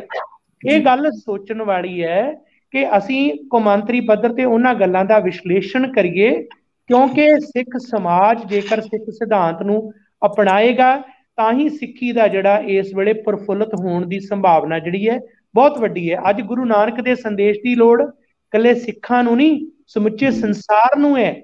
ਵਿਸ਼ਵ ਨੂੰ ਹੈ ਕਿਉਂਕਿ ਕੁਦਰਤ ਨੂੰ ਸੰਭਾਲਣ ਦਾ ਸੰਕਲਪ ਗਗਨ ਮੈਂ ਥਾਲ ਰੱਬ ਚੰਦ ਦੀਪਕ ਬਨੇ ਤਾਰਕਾ ਮੰਡਲ ਜਨਕ ਮੋਤੀ ਪਵਨ ਗੁਰੂ ਪਾਣੀ ਪਿਤਾ ਮਾਤਾ ਧਰਤ ਮਹਤ ਇਹ ਸੰਕਲਪ ਗੁਰੂ ਨਾਨਕ ਦੀ ਬਾਣੀ ਦੇ ਵਿੱਚੋਂ ਝਲਕਦਾ ਹੈ। ਮਨੁੱਖੀ ਸੋਚ ਦਾ ਮਾਨਵਵਾਦ ਦਾ ਸੰਕਲਪ ਕਿਸ ਨੂੰ ਗੁਲਾਮ ਨਾ ਬਣਾਇਆ ਜਾਏ ਇਹ ਗੁਰੂ ਨਾਨਕ ਬਾਣੀ ਚੋਂ ਝਲਕਦਾ ਹੈ। ਵਿਸ਼ਵ ਦੇ ਵਿੱਚ ਵੰਡ ਨਾ ਹੋਵੇ ਕਿਸੇ ਵੀ ਤਰ੍ਹਾਂ ਦੇ ਜ਼ਬਰ ਜ਼ੁਲਮ ਦੀ ਇਸ ਦੇ ਵਿੱਚੋਂ ਝਲਕਦਾ। ਫਾਸ਼ੀਵਾਦ ਦਾ ਅੰਤ ਹੋਵੇ ਇਸ ਦੇ ਵਿੱਚੋਂ ਝਲਕਦਾ ਹੈ। ਅੱਜ ਕਿਰਸਾਨਾਂ ਦੀ ਗੱਲ ਮਜ਼ਦੂਰਾਂ ਦੀ ਗੱਲ ਪੀੜਤਾਂ ਦੀ ਗੱਲ ਕਿਰਤੀਆਂ ਦੀ ਗੱਲ ਹੈ ਇਸ ਤੋਂ ਝਲਕਦਾ ਗੁਰੂ ਨਾਨਕ ਦਾ ਸਿਧਾਂਤ ਸੱਚੇ ਸੁੱਚੇ ਸੰਤਾਂ ਦਾ ਸਿਧਾਂਤ ਹੈ। ਉਹਨਾਂ ਪਹਿਰਾਵੇ ਵਾਲੇ ਪਖੰਡੀਆਂ ਦਾ ਨਹੀਂ ਜਿਨ੍ਹਾਂ ਬਾਰੇ ਗੁਰੂ ਸਾਹਿਬ ਫਰਮਾਉਂਦੇ ਨੇ ਗੁਰ ਪੀਰ ਸਦਾਏ ਮੰਗਣ ਜਾਏ ਤਾਂ ਕਿ ਮੂਲ ਨਾ ਲਾਗੋ ਪਾਏ ਕਾਲ ਖਾਏ ਕਿਛ ਹੱਥੋਂ ਦੇ ਨਾਨਕ ਰਾਹ ਪਛਾਣੇ। ਆ ਗੁਰੂ ਸਾਹਿਬ ਦਾ ਸੰਕਲਪ ਹੈ। ਜਦੋਂ ਅਸੀਂ ਭਾਈ ਲਾਲੋ ਜੀ ਦੀ ਗੱਲ ਕਰਦੇ ਆ ਤਾਂ ਅਸਲ ਦੇ ਵਿੱਚ ਇੱਥੇ ਇਹ ਸੰਕਲਪ ਝਲਕਦਾ ਹੈ ਤੇ ਇਹ ਅੱਜ ਸਾਨੂੰ ਲੋੜ ਹੈ, ਜਿਹੜੇ ਕਿਸਾਨ ਸੰਘਰਸ਼ ਕਰਦੇ ਨੇ, ਆਵਾਜ਼ ਉਠਾ ਰਹੇ ਨੇ, ਨਿਸ਼ਚਿਤ ਤੌਰ ਤੇ ਉਹਨਾਂ ਨਾਲ ਖੜਨ ਦੀ ਲੋੜ ਹੈ। ਦੇਸ਼ ਦਾ ਪ੍ਰਧਾਨ ਮੰਤਰੀ ਔਖੌਤੀ ਰੂਪ ਚ ਵਧਾਈਆਂ ਦੇ ਰਿਹਾ ਪਰ ਆਗਮਨ ਪੁਰਬ ਦੀਆਂ, ਉਹ ਵਧਾਈਆਂ ਕਿਸ ਅਰਥ ਨੇ ਤੁਹਾਡੀਆਂ? ਤੁਸੀਂ ਤਾਂ ਗੁਰੂ ਦੇ ਸਿਧਾਂਤ ਦੀ ਉਲੰਘਣਾ ਕਰਕੇ ਇਹਨਾਂ ਪੀੜਤਾਂ ਦੇ ਜ਼ੁਲਮ ਕਰ ਰਹੇ ਹੋ। ਇਹ ਵਧਾਈਆਂ ਕਿਸ ਕਾ ਇਹਨਾਂ ਵਧਾਈਆਂ ਬਿਨਾਂ ਕੀ ਜੁੜਿਆ? ਉਸ ਨੂੰ ਹੱਕ ਹੈ ਉਹ ਵਧਾਈ ਦੇਣ ਦਾ ਜਿਹੜਾ ਉਸ ਸਿਧਾਂਤ ਤੇ ਪਹਿਰਾ ਦੇਵੇ। ਜਿਹੜਾ ਸਿਧਾਂਤ ਤੋਂ ਮੁਨਕਰ ਹੈ ਹਰਗਿਜ਼ ਨਹੀਂ। ਭਾਈ ਲਾਲੋ ਦੇ ਵਾਰਸ ਆ ਅਸੀਂ। ਤੇ ਇਹੋ ਜੇ ਪਖੰਡੀਆਂ ਦੇ ਨਹੀਂ ਜਿਹੜੇ ਸਿੱਖ ਸਮਾਜ ਦੇ ਵਿੱਚ ਅੱਜ ਖੜ ਕੇ ਸਿੱਖੀ ਨੂੰ ਲਾਜ ਲਾ ਰਹੇ ਨੇ। ਤੇ ਮੈਂ ਉਸ ਗੱਲ ਨੂੰ ਕਿਉਂਕਿ ਬਹੁਤ ਹੀ ਵੱਖ-ਵੱਖ ਵਿਸਤਾਰ ਨੇ ਵਿਸ਼ੇ ਦੇ ਗੁਰੂ ਸਾਹਿਬ ਦੇ ਜੀਵਨ ਦੀ ਗੱਲ ਕਰਨੀ ਤਾਂ ਘੰਟਿਆਂ ਵਧੀ ਹੋ ਸਕਦੀ ਹੈ। ਮੈਂ ਉਸ ਨੂੰ ਆਪਣੇ ਤੁਹਾਡੇ ਉਲੀਕੇ ਪ੍ਰੋਗਰਾਮ ਤੇ ਸਮੇਂ ਦੇ ਅਨੁਸਾਰ ਸਮੇਟਣ ਤੋਂ ਪਹਿਲਾਂ ਇੱਕ ਐਸੀ ਨਜ਼ਮ ਦੇ ਰੂਪ ਦੇ ਵਿੱਚ ਸਾਂਝਾ ਕਰ ਰਿਹਾ ਕਿਸੇ ਸ਼ਾਇਰ ਨੇ ਬਹੁਤ ਪਹਿਲਾਂ ਹੀ ਲਿਖੀ, ਬਚਪਨ ਤੋਂ ਮੈਂ ਇਸ ਨੂੰ ਮਨ ਦੇ ਵਿੱਚ ਆਪਣੇ ਧਾਰਿਆ। ਤੇ ਅੱਜ ਕਿਰਤੀ ਵਰਗ ਦੀ ਗੱਲ ਕਰਦੇ ਆ ਪੀੜਤ ਵਰਗ ਦੀ ਗੱਲ ਕਰਦੇ ਆ ਜਿਨ੍ਹਾਂ ਨੂੰ ਸ਼ੂਦਰ ਕਿਹਾ ਜਾ ਰਿਹਾ, ਕਮਜ਼ੋਰ ਕਿਹਾ ਜਾ ਰਿਹਾ, ਉਹਨਾਂ ਦੀ ਗੱਲ ਕਰਦੇ ਆ ਗੁਰੂ ਨਾਨਕ ਦੇ ਸੰਕਲਪ ਦੀ ਇਸ ਨਜ਼ਮ ਦੇ ਵਿੱਚੋਂ ਝਲਕ ਮਿਲਦੀ ਹੈ ਤੇ ਜਿਹੜੇ ਅੱਜ ਵੱਡੇ ਵੱਡੇ ਧਨਾੜ ਨੇ ਜਾਂ ਜਗੀਰੂ ਸੋਚ ਵਾਲੇ ਨੇ ਜਾਂ ਮਲਕ ਭਾਗੋ ਦੇ ਵਾਰਸ ਨੇ ਉਹਨਾਂ ਨੂੰ ਇਹ ਸੁਨੇਹਾ ਵੀ ਹੈ ਤੇ ਉਹ ਪਖੰਡੀ ਨੇ ਜਿਹੜੇ ਉਹਨਾਂ ਨੂੰ ਵੀ ਹਲਾਉਣਾ ਹੈ। ਸੋ ਇਹ ਸ਼ਬਦ ਜਿਹੜੇ ਅੰਤ ਦੇ ਵਿੱਚ ਆਪ ਜੀ ਨਾਲ ਸਾਂਝੇ ਕਰਕੇ ਉਸ ਤੋਂ ਬਾਅਦ ਸਮੇਟਾਂਗੇ ਗੱਲਬਾਤ ਨੂੰ। ਕੁਝ ਇਸ ਤਰ੍ਹਾਂ ਨੇ ਜੀ। ਸਫਲ ਕਰਨ ਲਈ ਪਾਪ ਕਮਾਈ। ਸਫਲ ਕਰਨ ਲਈ ਪਾਪ ਕਮਾਈ ਖੱਟਣ ਲਈ ਜਗ ਦੀ ਵਡਿਆਈ। ਪਿਆਰਾ ਪ੍ਰਭੂ ਰਿਝਾਵਣ ਖਾਤਰ ਸਸਤੀ ਮੁਕਤੀ ਪਾਵਣ ਖਾਤਰ ਭਾਗੋ ਨੇ ਇੱਕ ਜਗ ਰਚਾਇਆ ਦੂਰ ਦੂਰ ਸਨੇਹਾ ਭਜਵਾਇਆ। ਕਈ ਪੰਡਤ ਵਿਦਵਾਨ ਬੁਲਾਏ ਕਈ ਸਦੇ ਆਪੇ ਆਏ। ਕੋਈ ਬੰਗਾਲੀ ਕੋਈ ਪੰਜਾਬੀ ਕੋਈ ਅਫੀਮੀ ਕੋਈ ਸ਼ਰਾਬੀ। ਇਹ ਹੈ ਸਾਧ ਖੜਾਮਾ ਵਾਲਾ ਉਹ ਹੈ ਸੰਤ ਜੜਾਮਾ ਵਾਲਾ। ਜਿੰਨਾ ਵਕਰੀ ਧੂਣੀ ਵਾਲੀ ਉਹ ਸਾਧੂ ਦਾ ਨਾਮ ਜਲਾਲੀ। ਹਾ ਫੌੜੀ ਉਹ ਸੋਟੇ ਵਾਲਾ ਹੈ ਸਾਧ ਗਲੂਟੇ ਵਾਲਾ ਮਹਿਲਾ ਵਾਲਾ ਢਾਰੇ ਵਾਲਾ ਸਾਧੂ ਮਸਤ ਚਵਾਰੇ ਵਾਲਾ ਇਹ ਕੰਬੜੀ ਉਹ ਭੂਰੀ ਵਾਲਾ ਉਹ ਹੈ ਸੰਤ ਕਤੂਰੀ ਵਾਲਾ ਸ਼ੇਰਾ ਵਾਲਾ ਨਾਗਾ ਵਾਲਾ ਉਹ ਹੈ ਬਾਬਾ ਬਾਗਾ ਵਾਲਾ ਇਕੱਠੇ ਹੋ ਗਏ ਸਭ ਖੰਡੀ ਲੱਗ ਗਈ ਸਾਧਾਂ ਦੀ ਮੰਡੀ। ਵਾਹ ਵਾਹ ਕੀ ਬਾਤ ਰੂਪ ਵੱਖਰੇ ਭੇਖ ਨਰਾਲੇ ਵੱਖੋ ਵੱਖਰੀ ਨਾਮਾਂ ਵਾਲੇ ਭਾਵੇਂ ਸਭ ਦੇ ਪੰਥ ਨਿਆਰੇ ਇੱਕ ਗੱਲੋਂ ਉਹ ਇਕੱਠੇ ਸਾਰੇ ਸਭ ਦੀ ਗੋਗੜ ਮੋਟੀ ਤਾਜੀ ਸਾਰੇ ਮੁਫਤ ਖਾਣ ਨੂੰ ਰਾਜੀ ਵਿਹਲੇ ਬੈਠੇ ਮौज ਉਡਾਉਂਦੀ ਕੰਮਕਾਰ ਨੂੰ ਹੱਥ ਨਾ ਲਾਂਦੀ ਪਰ ਇੱਕ ਗੁਰੂ ਨਾਨਕ ਨਾ ਆਇਆ ਉਸ ਨੂੰ ਜਬਰਨ ਗਿਆ ਬੁਲਾਇਆ। ਭਾਗੋ ਕਹਿੰਦਾ ਨਾਨਕ ਪਿਆਰੇ ਇਹ ਸਾਧਾਂ ਦੇ ਨਹੀਂ ਵਰਤਾਰੇ। ਵਾਹ। ਸੰਤ ਹੈ ਸਾਰੇ ਜਗ ਦਾ ਸਾਂਝਾ ਕਿਉਂ ਰੱਖੀ ਉਹ ਮੈਨੂੰ ਵਾਂਝਾ। ਜੇ ਮਿੱਠੀ ਲਾਲੋ ਦੀ ਗੁੱਲੀ ਕੀ ਲੱਗ ਗਈ ਪੂੜੀ ਨੂੰ ਉੱਲੀ ਭੋਜਨ ਕਿਉਂ ਪ੍ਰਵਾਨ ਨਹੀਂ ਮੇਰਾ। ਦੱਸੋ ਇਹ ਅਪਮਾਨ ਨਹੀਂ ਮੇਰਾ? ਨਾਨਕ ਮੁਸਕਰਾਵਣ ਲੱਗੇ ਸਹਿ ਸਵਾ ਫਰਮਾਵਣ ਲੱਗੇ ਮਲਕਾ ਕਿਉਂ ਗੁੱਸੇ ਵਿੱਚ ਆਵੇਂ? ਝੂਠ ਨਾਲ ਕਿਉਂ ਸੱਚ ਲੁਕਾਵੇਂ? ਮੈਂ ਇਸ ਭੇਦ ਨੂੰ ਜਾਣ ਗਿਆ ਹਾਂ ਕਾਤਲ ਤਾਈ ਪਛਾਣ ਗਿਆ ਹਾਂ। ਤੇਰੇ ਸਾਥੀ ਸਭ ਹਥਿਆਰੇ ਜ਼ਾਲਮ ਡਾਕੂ। ਖੂਨੀ ਸਾਰੇ ਖੂਨੋ ਖੂਨ ਹੈ ਭੋਜਨ ਤੇਰਾ ਇਸ ਨੂੰ ਹੱਥ ਨਾ ਸ਼ਹਾਏ ਮੇਰਾ। ਜੋ ਤੂੰ ਵੇਲੇ ਝੋਟੇ ਪਾਲੇ ਇਹ ਸਭ ਠੱਗ ਬਨਾਸ ਵਾਲੇ ਵਾਹ। ਜਿਸ ਦਾ ਸਾਹ ਖੋ ਕੇ ਤੂੰ ਜੀਵੇ ਜਿਸ ਦਾ ਖੂਨ ਹਮੇਸ਼ਾ ਪੀਵੇ ਜਿਸ ਦੇ ਸਿਰ ਤੇ ਮौज ਉਡਾਵੇਂ ਉਸ ਨੂੰ ਸ਼ੂਦਰ ਆਖ ਬੁਲਾਵੇਂ। ਜਿਸ ਦੇ ਸਿਰ ਤੇ ਮौज ਉਡਾਵੇਂ ਉਸ ਨੂੰ ਸ਼ੂਦਰ ਆਖ ਬੁਲਾਵੇਂ। ਉਹ ਜਿਹੜਾ ਹੱਥੀ ਕਾਰ ਕਮਾਵੇ ਦਸਾਂ ਨੋਹਾਂ ਦੀ ਕਰਕੇ ਖਾਵੇ ਉਹ ਕਿਰਤੀ ਹੈ ਮੇਰਾ ਭਾਈ, ਉਹ ਕਿਰਤੀ ਹੈ, ਮੇਰਾ ਭਾਈ, ਜਗ ਕਰੇ ਉਸ ਦੀ ਵਡਿਆਈ ਉਸ ਦਾ ਭੋਜਨ, ਦੁੱਧ ਮਲਾਈ, ਲਹੂ ਭਰੀ ਤੇਰੀ ਮਠਿਆਈ, ਲਹੂ ਭਰੀ ਤੇਰੀ ਮਠਿਆਈ। ਇਹ ਕੁਝ ਸ਼ਬਦ ਜਿਨ੍ਹਾਂ ਦੇ ਰਾਹੀਂ ਤੁਹਾਡੇ ਨਾਲ ਵਿਚਾਰ ਸਾਂਝੇ ਕੀਤੇ ਨੇ। ਕਿਸੇ ਸਮੇਂ ਫਿਰ ਵਕਤ ਮਿਲਿਆ, ਜਿਹੜੀਆਂ ਤਾਜ਼ਾ ਘਟਨਾਵਾਂ ਉਹਨਾਂ ਦੇ ਬਾਰੇ ਗੁਰੂ ਨਾਨਕ ਸਾਹਿਬ ਦੇ ਸੰਦੇਸ਼ ਦੇ ਵਿੱਚੋਂ ਦੀ ਵਿਚਾਰ ਸਾਂਝੇ ਕਰਾਂਗੇ। ਅਖੀਰ 'ਚ ਕਿਉਂਕਿ ਆਗਮਨਪੁਰ ਵੀ ਕੱਤਕ ਕੇ ਵਿਸਾਖ ਕਰਮ ਸਿੰਘ ਹਿਸਟੋਰੀਅਨ ਜਾਂ ਕਈਆਂ ਦੀ ਕਿਤਾਬਾਂ ਹੋਰ ਨੇ ਨਾਨਕਸ਼ਾਹੀ ਕੈਲੰਡਰ ਵਾਲੇ ਅਨੁਸਾਰ ਵੀ ਅਜੇ ਤੱਕ ਕਈ ਤਰ੍ਹਾਂ ਦੇ ਪੱਖ ਨੇ ਸੋ ਇਹ ਵੀ ਸਮੇਂ ਦੇ ਨਾਲ ਹੱਲ ਹੋਣਾ ਚਾਹੀਦਾ ਹੈ ਚਾਹੇ ਇਹ ਅਵਤਾਰਪੁਰ ਦਾ ਦਿਨ ਬੇਸ਼ੱਕ ਕੋਈ ਪਹਿਲੀ ਵਿਸਾਖ ਨੂੰ ਮਨਾ ਰਿਹਾ ਹੈ ਜਾਂ ਫਿਰ ਅਸੀਂ ਦੇਖਦੇ ਹਾਂ ਕਿ ਕੱਤਕ ਦੀ ਪੂਰਨਮਾਸ਼ੀ ਨੂੰ ਮਨਾਇਆ ਜਾਂਦਾ ਹੈ ਇਹ ਆਪੋ ਆਪਣਾ ਖਿਆਲ ਹੈ ਕੌਮ ਨੂੰ ਇਕਮਤ ਹੋਣਾ ਚਾਹੀਦਾ ਪਰ ਸਾਰੇ ਦਿਨ ਹੀ ਗੁਰੂ ਨਾਨਕ ਸਾਹਿਬ ਦੇ ਨੇ। ਹਰ ਦਿਨ ਹੀ ਉਹਨਾਂ ਨੂੰ ਮਨਾਇਆ ਜਾ ਸਕਦਾ ਹੈ। ਗੱਲ ਉਹਨਾਂ ਨੂੰ ਮਨਾਉਣ ਦੀ ਨਹੀਂ ਗੱਲ ਉਹਨਾਂ ਦੀ ਮੰਨਣ ਦੀ ਹੈ। ਉਹ ਤਾਂ ਮਨੌਤ ਉਹਨਾਂ ਨੂੰ ਕਿਸੇ ਸਾਡੀ ਮਨੌਤ ਦੀ ਜ਼ਰੂਰ ਨਹੀਂ। ਅਸੀਂ ਮੰਨੀਏ ਅਸੀਂ ਮੰਨੀਏ ਗੁਰੂ ਦੀ ਬਾਣੀ ਅਸੀਂ ਮੰਨੀਏ ਗੁਰੂ ਦਾ ਸਿਧਾਂਤ ਅਸੀਂ ਮੰਨੀਏ ਗੁਰੂ ਦੇ ਸੰਕਲਪ ਨੂੰ। ਇਹ ਸਿਧਾਂਤ ਇੱਕੋ ਹੀ ਹੈ। ਉਸ ਕਿਰਤ ਕਰੋ ਵੰਡ ਛਕੋ ਤੇ ਨਾਮ ਜਪੋ। ਜਿਹਦੇ ਵਿੱਚ ਸਾਰਾ ਕੁਝ ਸਮੇਟਿਆ ਹੈ ਜਿਹਦੇ ਵਿੱਚ ਸਰਬੋਤਮ ਜੇ ਲਿਖਤ ਕੋਈ ਹੈ ਜਿਹਦੇ ਅਖੀਰ ਦੇ ਵਿੱਚ ਇਹ ਸ਼ਬਦ ਹੈ ਅਸੀਂ ਉਹ ਗੱਲ ਨੂੰ ਆਪਣੇ ਮਨ 'ਚ ਰੱਖੀਏ ਜਿਨ ਨਾਮ ਤੇ ਆਇਆ ਗਏ ਗਏ ਮਸ਼ਕਤ ਕਾਲ। ਨਾਨਕ ਤੇ ਮੁਖ ਉਜਲੇ ਛੁੱਟੀ ਨਾਲ। ਨਾਨਕ ਤੇ ਮੁਖ ਉਜਲੇ ਕੀਤੀ ਛੁੱਟੀ ਨਾਲ। ਵਾਹਿਗੁਰੂ ਜੀ ਕਾ ਖਾਲਸਾ। ਵਾਹਿਗੁਰੂ। ਜੀ ਕੀ ਫਤਿਹ। ਵਾਹ ਜੀ ਵਾਹ ਗੁਰੂ ਪਿਆਰੀ ਸਾਧ ਸੰਗਤ ਅਤੇ ਸਾਡੇ ਸੰਗੀਤ ਦੇ ਪ੍ਰੇਮੀ ਜਿੰਨੇ ਵੀ ਸੱਜਣ ਸਾਡੇ ਨਾਲ ਜੁੜੇ ਹੋਏ ਨੇ, ਇਹ ਸਨ ਸਾਡੇ ਨਾਲ ਡਾਕਟਰ ਗੁਰਵਿੰਦਰ ਸਿੰਘ ਜੀ ਢਾਲੀਵਾਲ ਸਾਹਿਬ ਸਾਡੇ ਨਾਲ ਵੈਨਕੂਵਰ ਤੋਂ ਜੁੜੇ ਸਨ। ਇਹਨਾਂ ਦੀ ਬਹੁਪੱਖੀ ਸ਼ਖਸੀਅਤ ਹੈ, ਬਹੁਤ ਹੀ ਇਹਨਾਂ ਦੇ ਕਈ ਪਹਿਲੂਆਂ ਤੋਂ ਜੇ ਇਹਨਾਂ ਨੂੰ ਛੇੜੀਏ ਤੇ ਮੇਰੇ ਖਿਆਲ ਰੱਬ ਦੀ ਬਖਸ਼ਿਸ਼ ਹੈ ਕਿ ਖਜ਼ਾਨਾ ਸਤਿਗੁਰੂ ਨੇ ਬਹੁਤ ਇਹਨਾਂ ਨੂੰ ਬਖਸ਼ਿਸ਼ ਕੀਤਾ ਕਿਉਂਕਿ ਇਹਨਾਂ ਦੇ ਬਾਰੇ ਜਦੋਂ ਵੀ ਕਈ ਵਾਰੀ ਮਲੀ ਸਾਹਿਬ ਨਾਲ ਗੱਲ ਹੁੰਦੀ ਤਾਂ ਹਮੇਸ਼ਾ ਹੀ ਜ਼ਿਕਰ ਕਰਦੇ ਨੇ ਕਿ ਕਦੇ ਸਮਾਂ ਮਿਲਿਆ ਤਾਂ ਆਪਾਂ ਡਾਕਟਰ ਸਾਹਿਬ ਦੇ ਦਰਸ਼ਨ ਕਰਨੇ ਨੇ, ਉਹਨਾਂ ਦੇ ਵਿਚਾਰ ਵੀ ਸੁਣਨੇ ਨੇ ਤੇ ਗੁਰੂ ਸਾਹਿਬ ਦੀ ਕਿਰਪਾ ਹੋਈ ਕਿ ਅੱਜ ਅੱਜ ਸਵੇਰ ਤੋਂ ਹੀ ਪਹਿਲਾ ਜਿਹੜਾ ਅੱਜ ਦਿਨ ਚੜਿਆ ਜਦੋਂ ਅਸੀਂ ਸਵੇਰੇ ਪਹਿਲਾ ਪ੍ਰੋਗਰਾਮ ਸ਼ੁਰੂ ਕੀਤਾ ਤਾਂ ਪਹਿਲਾ ਪ੍ਰੋਗਰਾਮ ਸਾਡਾ ਸੀ ਕਵੀ ਦਰਬਾਰ ਦਾ।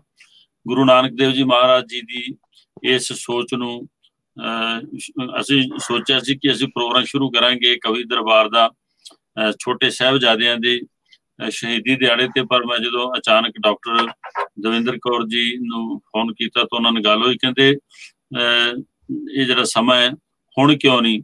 ਤੇ ਗੁਰੂ ਸਾਹਿਬ ਦੀ ਕਿਰਪਾ ਹੋਈ ਤੇ ਇਹ ਸਮਾਂ ਸਾਡੇ ਨਾਲ ਜਿਹੜਾ ਬਣਿਆ, ਤੇ ਉਸ ਪ੍ਰੋਗਰਾਮ ਦੇ ਵਿੱਚ ਅਸੀਂ ਡਾਕਟਰ ਸਾਹਿਬ ਦੇ ਦਰਸ਼ਨ ਕੀਤੇ ਹਨ। ਡਾਕਟਰ ਸਾਹਿਬ ਦਾ ਸ਼ਾਇਦ ਲਿੰਕ ਸਾਡੇ ਨਾਲੋਂ ਟੁੱਟਾ ਤੇ ਕੋਈ ਗੱਲ ਨਹੀਂ, ਉਹ ਦੁਬਾਰਾ ਜੁੜਦੇ ਨੇ ਸਾਡੇ ਨਾਲ। ਉਹਨਾਂ ਦਾ ਥੈਂਕਸ ਵੀ ਕਰਨਾ ਸੀ ਬਹੁਤ ਬਹੁਤ ਧੰਨਵਾਦ। ਤੇ ਗੁਰੂ ਸਾਹਿਬ ਦੀ ਕਿਰਪਾ ਹੋਈ ਹੈ, ਬੜੀ ਬਖਸ਼ਿਸ਼ ਹੋਈ। ਤੁਸੀਂ ਪਹਿਲਾਂ ਪਰਮ ਸਤਕਾਰਯੋਗ ਪ੍ਰੋਫੈਸਰ ਇਕਬਾਲ ਸਿੰਘ ਜੀ, ਜਿਨ੍ਹਾਂ ਨੇ ਬਹੁਤ ਹੀ ਪਿਆਰਾ ਕੀਰਤਨ ਆਪ ਜੀ ਨੂੰ ਸਰਵਣ ਕਰਵਾਇਆ, ਜਿਹਦੇ ਵਿੱਚ ਸਾਨੂੰ ਸਤਿਗੁਰੂ ਜੀ ਨੇ ਬਖਸ਼ਿਸ਼ ਕੀਤਾ ਕੀਰਤਨ, ਉਹ ਸੁਣਨ ਨੂੰ ਮਿਲਿਆ। ਤੇ ਇਹ ਸਾਡੀ ਖੁਸ਼ਕਿਸਮਤੀ ਹੈ ਕਿ ਅੱਜ ਦੇ ਕੀਰਤਨ ਦੇ ਪ੍ਰੋਗਰਾਮ ਦੇ ਵਿੱਚ ਜਿੱਥੇ ਪ੍ਰੋਫੈਸਰ ਇਕਬਾਲ ਸਿੰਘ ਜੀ ਨੇ ਬਹੁਤ ਪਿਆਰਾ ਕੀਰਤਨ ਸਾਡੇ ਨਾਲ ਸਾਂਝਾ ਕੀਤਾ, ਉੱਥੇ ਨਾਲ ਜੋ ਤਬਲੇ ਦੀ ਸੰਗਤ ਕਰ ਰਹੇ ਸਨ ਸਾਡੇ ਵੀਰ ਜਸਦੀਪ ਸਿੰਘ ਜੀ ਬਹੁਤ ਹੀ ਪਿਆਰਾ ਤੇ ਦਿਲਰਬਾ ਤੇ ਸਨ। ਸਿਮਰਨਜੀਤ ਸਿੰਘ ਜੀ, ਉਹਨਾਂ ਨੇ ਬਹੁਤ ਸੋਹਣਾ ਕੀਰਤਨ ਦਾ ਰੰਗ ਬੰਨਿਆ, ਬੜੀ ਸਤਿਗੁਰੂ ਜੀ ਦੀ ਕਿਰਪਾ ਹੋਈ ਤੇ ਇਹ ਦੁਬਾਰਾ ਅਸੀਂ ਇਹੀ ਜੋ ਉਹਨਾਂ ਦੇ ਸ਼ਬਦ ਹਨ, ਇਹਨਾਂ ਨੂੰ ਬਹੁਤ ਜਲਦੀ ਦੁਬਾਰਾ ਤੋਂ ਕੱਲ ਤੱਕ ਕਈ ਵਾਰੀ ਅਸੀਂ ਇਹਨਾਂ ਨੂੰ ਤੁਹਾਡੇ ਸਾਹਮਣੇ ਰੱਖਾਂਗੇ ਕਿਉਂਕਿ ਅਸੀਂ ਚਾਹੁੰਦੇ ਹਾਂ ਕਿ ਜੋ ਪ੍ਰੋਫੈਸਰ ਇਕਬਾਲ ਸਿੰਘ ਜੀ ਨੇ ਕੀਰਤਨ ਕੀਤਾ ਹੈ ਤੇ ਸਾਡੇ ਜਿੰਨੇ ਵੀ ਰਾਗੀ ਸਿੰਘ ਹਨ, ਕਿਉਂ ਨਹੀਂ ਇਹਨਾਂ ਚੀਜ਼ਾਂ ਨੂੰ ਲੈ ਕੇ ਅੱਗੇ ਆਉਂਦੇ ਤੇ ਉਹਨਾਂ ਚੀਜ਼ਾਂ ਤੋਂ ਸੇਧ ਲੈਣ, ਉਹਨਾਂ ਚੀਜ਼ਾਂ ਨੂੰ ਸਿੱਖਣ ਤਾਂ ਕਿ ਸਾਡਾ ਜੋ ਕੀਰਤਨ ਦਾ ਪੱਖ ਹੈ ਉਹ ਬਹੁਤ ਮਜ਼ਬੂਤ, ਅੱਛਾ ਹੋ ਜਾਏ। ਬਹੁਤ ਬਹੁਤ ਧੰਨਵਾਦ। ਡਾਕਟਰ ਸਾਹਿਬ ਦਾ ਲਿੰਕ ਸਾਡੇ ਨਾਲ ਡਿਸਕਨੈਕਟ ਹੋ ਚੁੱਕਾ ਹੈ ਤੇ ਮਲੀ ਸਾਹਿਬ ਵੀ ਸਾਡੇ ਨਾਲ ਜੁੜੇ ਹੋਏ ਨੇ ਤੇ ਪ੍ਰੋਗਰਾਮ ਜਿਹੜਾ ਚੱਲ ਰਿਹਾ ਤੇ ਮੈਂ ਚਾਹਾਂਗਾ ਕਿ ਮੱਲੀ ਸਾਹਿਬ ਇਹਨੂੰ ਕੰਟੀਨਿਊ ਕਰਨ ਤੇ ਆਪਣਾ ਉਹਨਾਂ ਦੇ ਬਾਰੇ ਜ਼ਰੂਰ ਦੋ ਸ਼ਬਦ ਆਪਣਾ ਸਾਂਝੇ ਕਰਨ। ਫਿਰ ਅਸੀਂ ਇੱਕ ਵਾਰੀ ਇਹ ਪ੍ਰੋਗਰਾਮ ਨੂੰ ਸਮਾਪਤ ਕਰਾਂਗੇ ਕਿਉਂਕਿ ਘਰ ਦੇ ਵਿੱਚ ਪ੍ਰੋਗਰਾਮ ਬਣਿਆ ਹੋਇਆ ਕਿ ਅਸੀਂ ਅਰਦਾਸ ਕਰਨੀ ਚਾਹੁੰਦੇ ਹਾਂ। ਅਰਦਾਸ ਕਰਨ ਤੋਂ ਬਾਅਦ ਦੁਬਾਰਾ ਤੋਂ ਅਸੀਂ ਇਸ ਪ੍ਰੋਗਰਾਮ ਨੂੰ ਸ਼ੁਰੂ ਕਰਾਂਗੇ। ਸਿਰਫ 15 ਮਿੰਟ ਦੀ ਬ੍ਰੇਕ ਹੋਏਗੀ ਤੇ ਉਸ 15 ਮਿੰਟ ਦੀ ਬ੍ਰੇਕ ਦੇ ਵਿੱਚ ਅਰਦਾਸ ਕਰਕੇ ਫਿਰ ਦੁਬਾਰਾ ਤੋਂ ਇਹ ਪ੍ਰੋਗਰਾਮ ਸ਼ੁਰੂ ਕਰਦੇ ਹਾਂ ਜੀ। ਬਹੁਤ ਬਹੁਤ ਧੰਨਵਾਦ। ਤੇ ਜਿਹੜੇ ਵੀ ਸੱਜਣ ਸਾਡੇ ਨਾਲ ਜੁੜੇ ਨੇ, ਉਹਨਾਂ ਦਾ ਵੀ ਬਹੁਤ ਬਹੁਤ ਧੰਨਵਾਦ। ਪ੍ਰਵਿੰਦਰ ਭਾਜੀ, ਮਿਤਵਾ ਭਾਈ ਤੇ ਜਸਦੀਪ ਬਾਜੀ ਵਾਕਿਆ ਬਾਤ ਹੈ। ਜਸਦੀਪ ਸਿੰਘ ਜੀ ਸਾਡੇ ਨਾਲ ਜੁੜੇ ਹੋਏ ਹਨ ਤੇ ਉਹਨਾਂ ਦਾ ਵੀ ਬਹੁਤ ਬਹੁਤ ਧੰਨਵਾਦ ਹੈ। ਬਹੁਤ ਸੋਹਣਾ ਤਬਲਾ ਉਹਨਾਂ ਦਾ ਸਾਨੂੰ ਸਰਵਣ ਕਰਨ ਦਾ ਮੌਕਾ ਮਿਲਿਆ। ਤੇ ਸਾਡੇ ਵੀਰ ਜੀ ਦੀਪਨ ਰਾਜ ਜੀ ਸਾਡੇ ਨਾਲ ਜੁੜੇ ਨੇ। ਉਹ ਵੀ ਬੜੇ ਗੁਣੀ ਵਿਦਵਾਨ ਪੁਰਸ਼ ਹਨ। ਬੜੀ ਸਤਿਗੁਰੂ ਜੀ ਦੀ ਕਿਰਪਾ ਹੈ ਉਹਨਾਂ ਤੇ ਬਹੁਤ ਬਹੁਤ ਧੰਨਵਾਦ ਹੈ ਦੀਪਨ ਜੀ। ਆਪ ਜੀ ਜੁੜੇ ਹੋ ਆਪਣਾ ਆਸ਼ੀਰਵਾਦ ਦਿੱਤਾ ਤਾਂ ਤਾਂ ਸਾਹਿਬ ਸ੍ਰੀ ਗੁਰੂ ਨਾਨਕ ਦੇਵ ਮਹਾਰਾਜ ਜੀ ਦੇ ਪ੍ਰਕਾਸ਼ ਪੁਰਬ ਦੀਆਂ ਆਪ ਸਾਰਿਆਂ ਨੂੰ ਲੱਖ ਲੱਖ ਵਧਾਈਆਂ ਹੋਣ। ਗੁਰੂ ਸਾਹਿਬ ਕਿਰਪਾ ਕਰਨ। ਤੇ ਜੀ ਮਲੀ ਸਾਹਿਬ। ਸਰਜੀਤ ਸਿੰਘ ਜੀ ਔਰ ਗੁਰਵਿੰਦਰ ਸਿੰਘ ਜੀ ਮੇਰੇ ਖਿਆਲ ਜਾ ਚੁੱਕੇ ਨੇ ਜਾਂ ਉਹਨਾਂ ਡਿਸਕਨੈਕਟ ਹੋ ਗਿਆ ਸੀ ਕੋਈ ਨਹੀਂ। ਜੇ ਜੇ ਗੱਲਬਾਤ ਸੁਣਦੇ ਨੇ ਤਾਂ ਕਿਉਂਕਿ ਉਹਨਾਂ ਨੇ ਗੱਲਬਾਤ ਕੀਤੀ ਉਹਨਾਂ ਦੀ ਗੱਲਬਾਤ ਨਾਲ ਆਪਾਂ ਮਤਲਬ ਇਸ ਲੜੀ ਨੂੰ ਤੋੜਾ ਜੋੜਾਂਗੇ।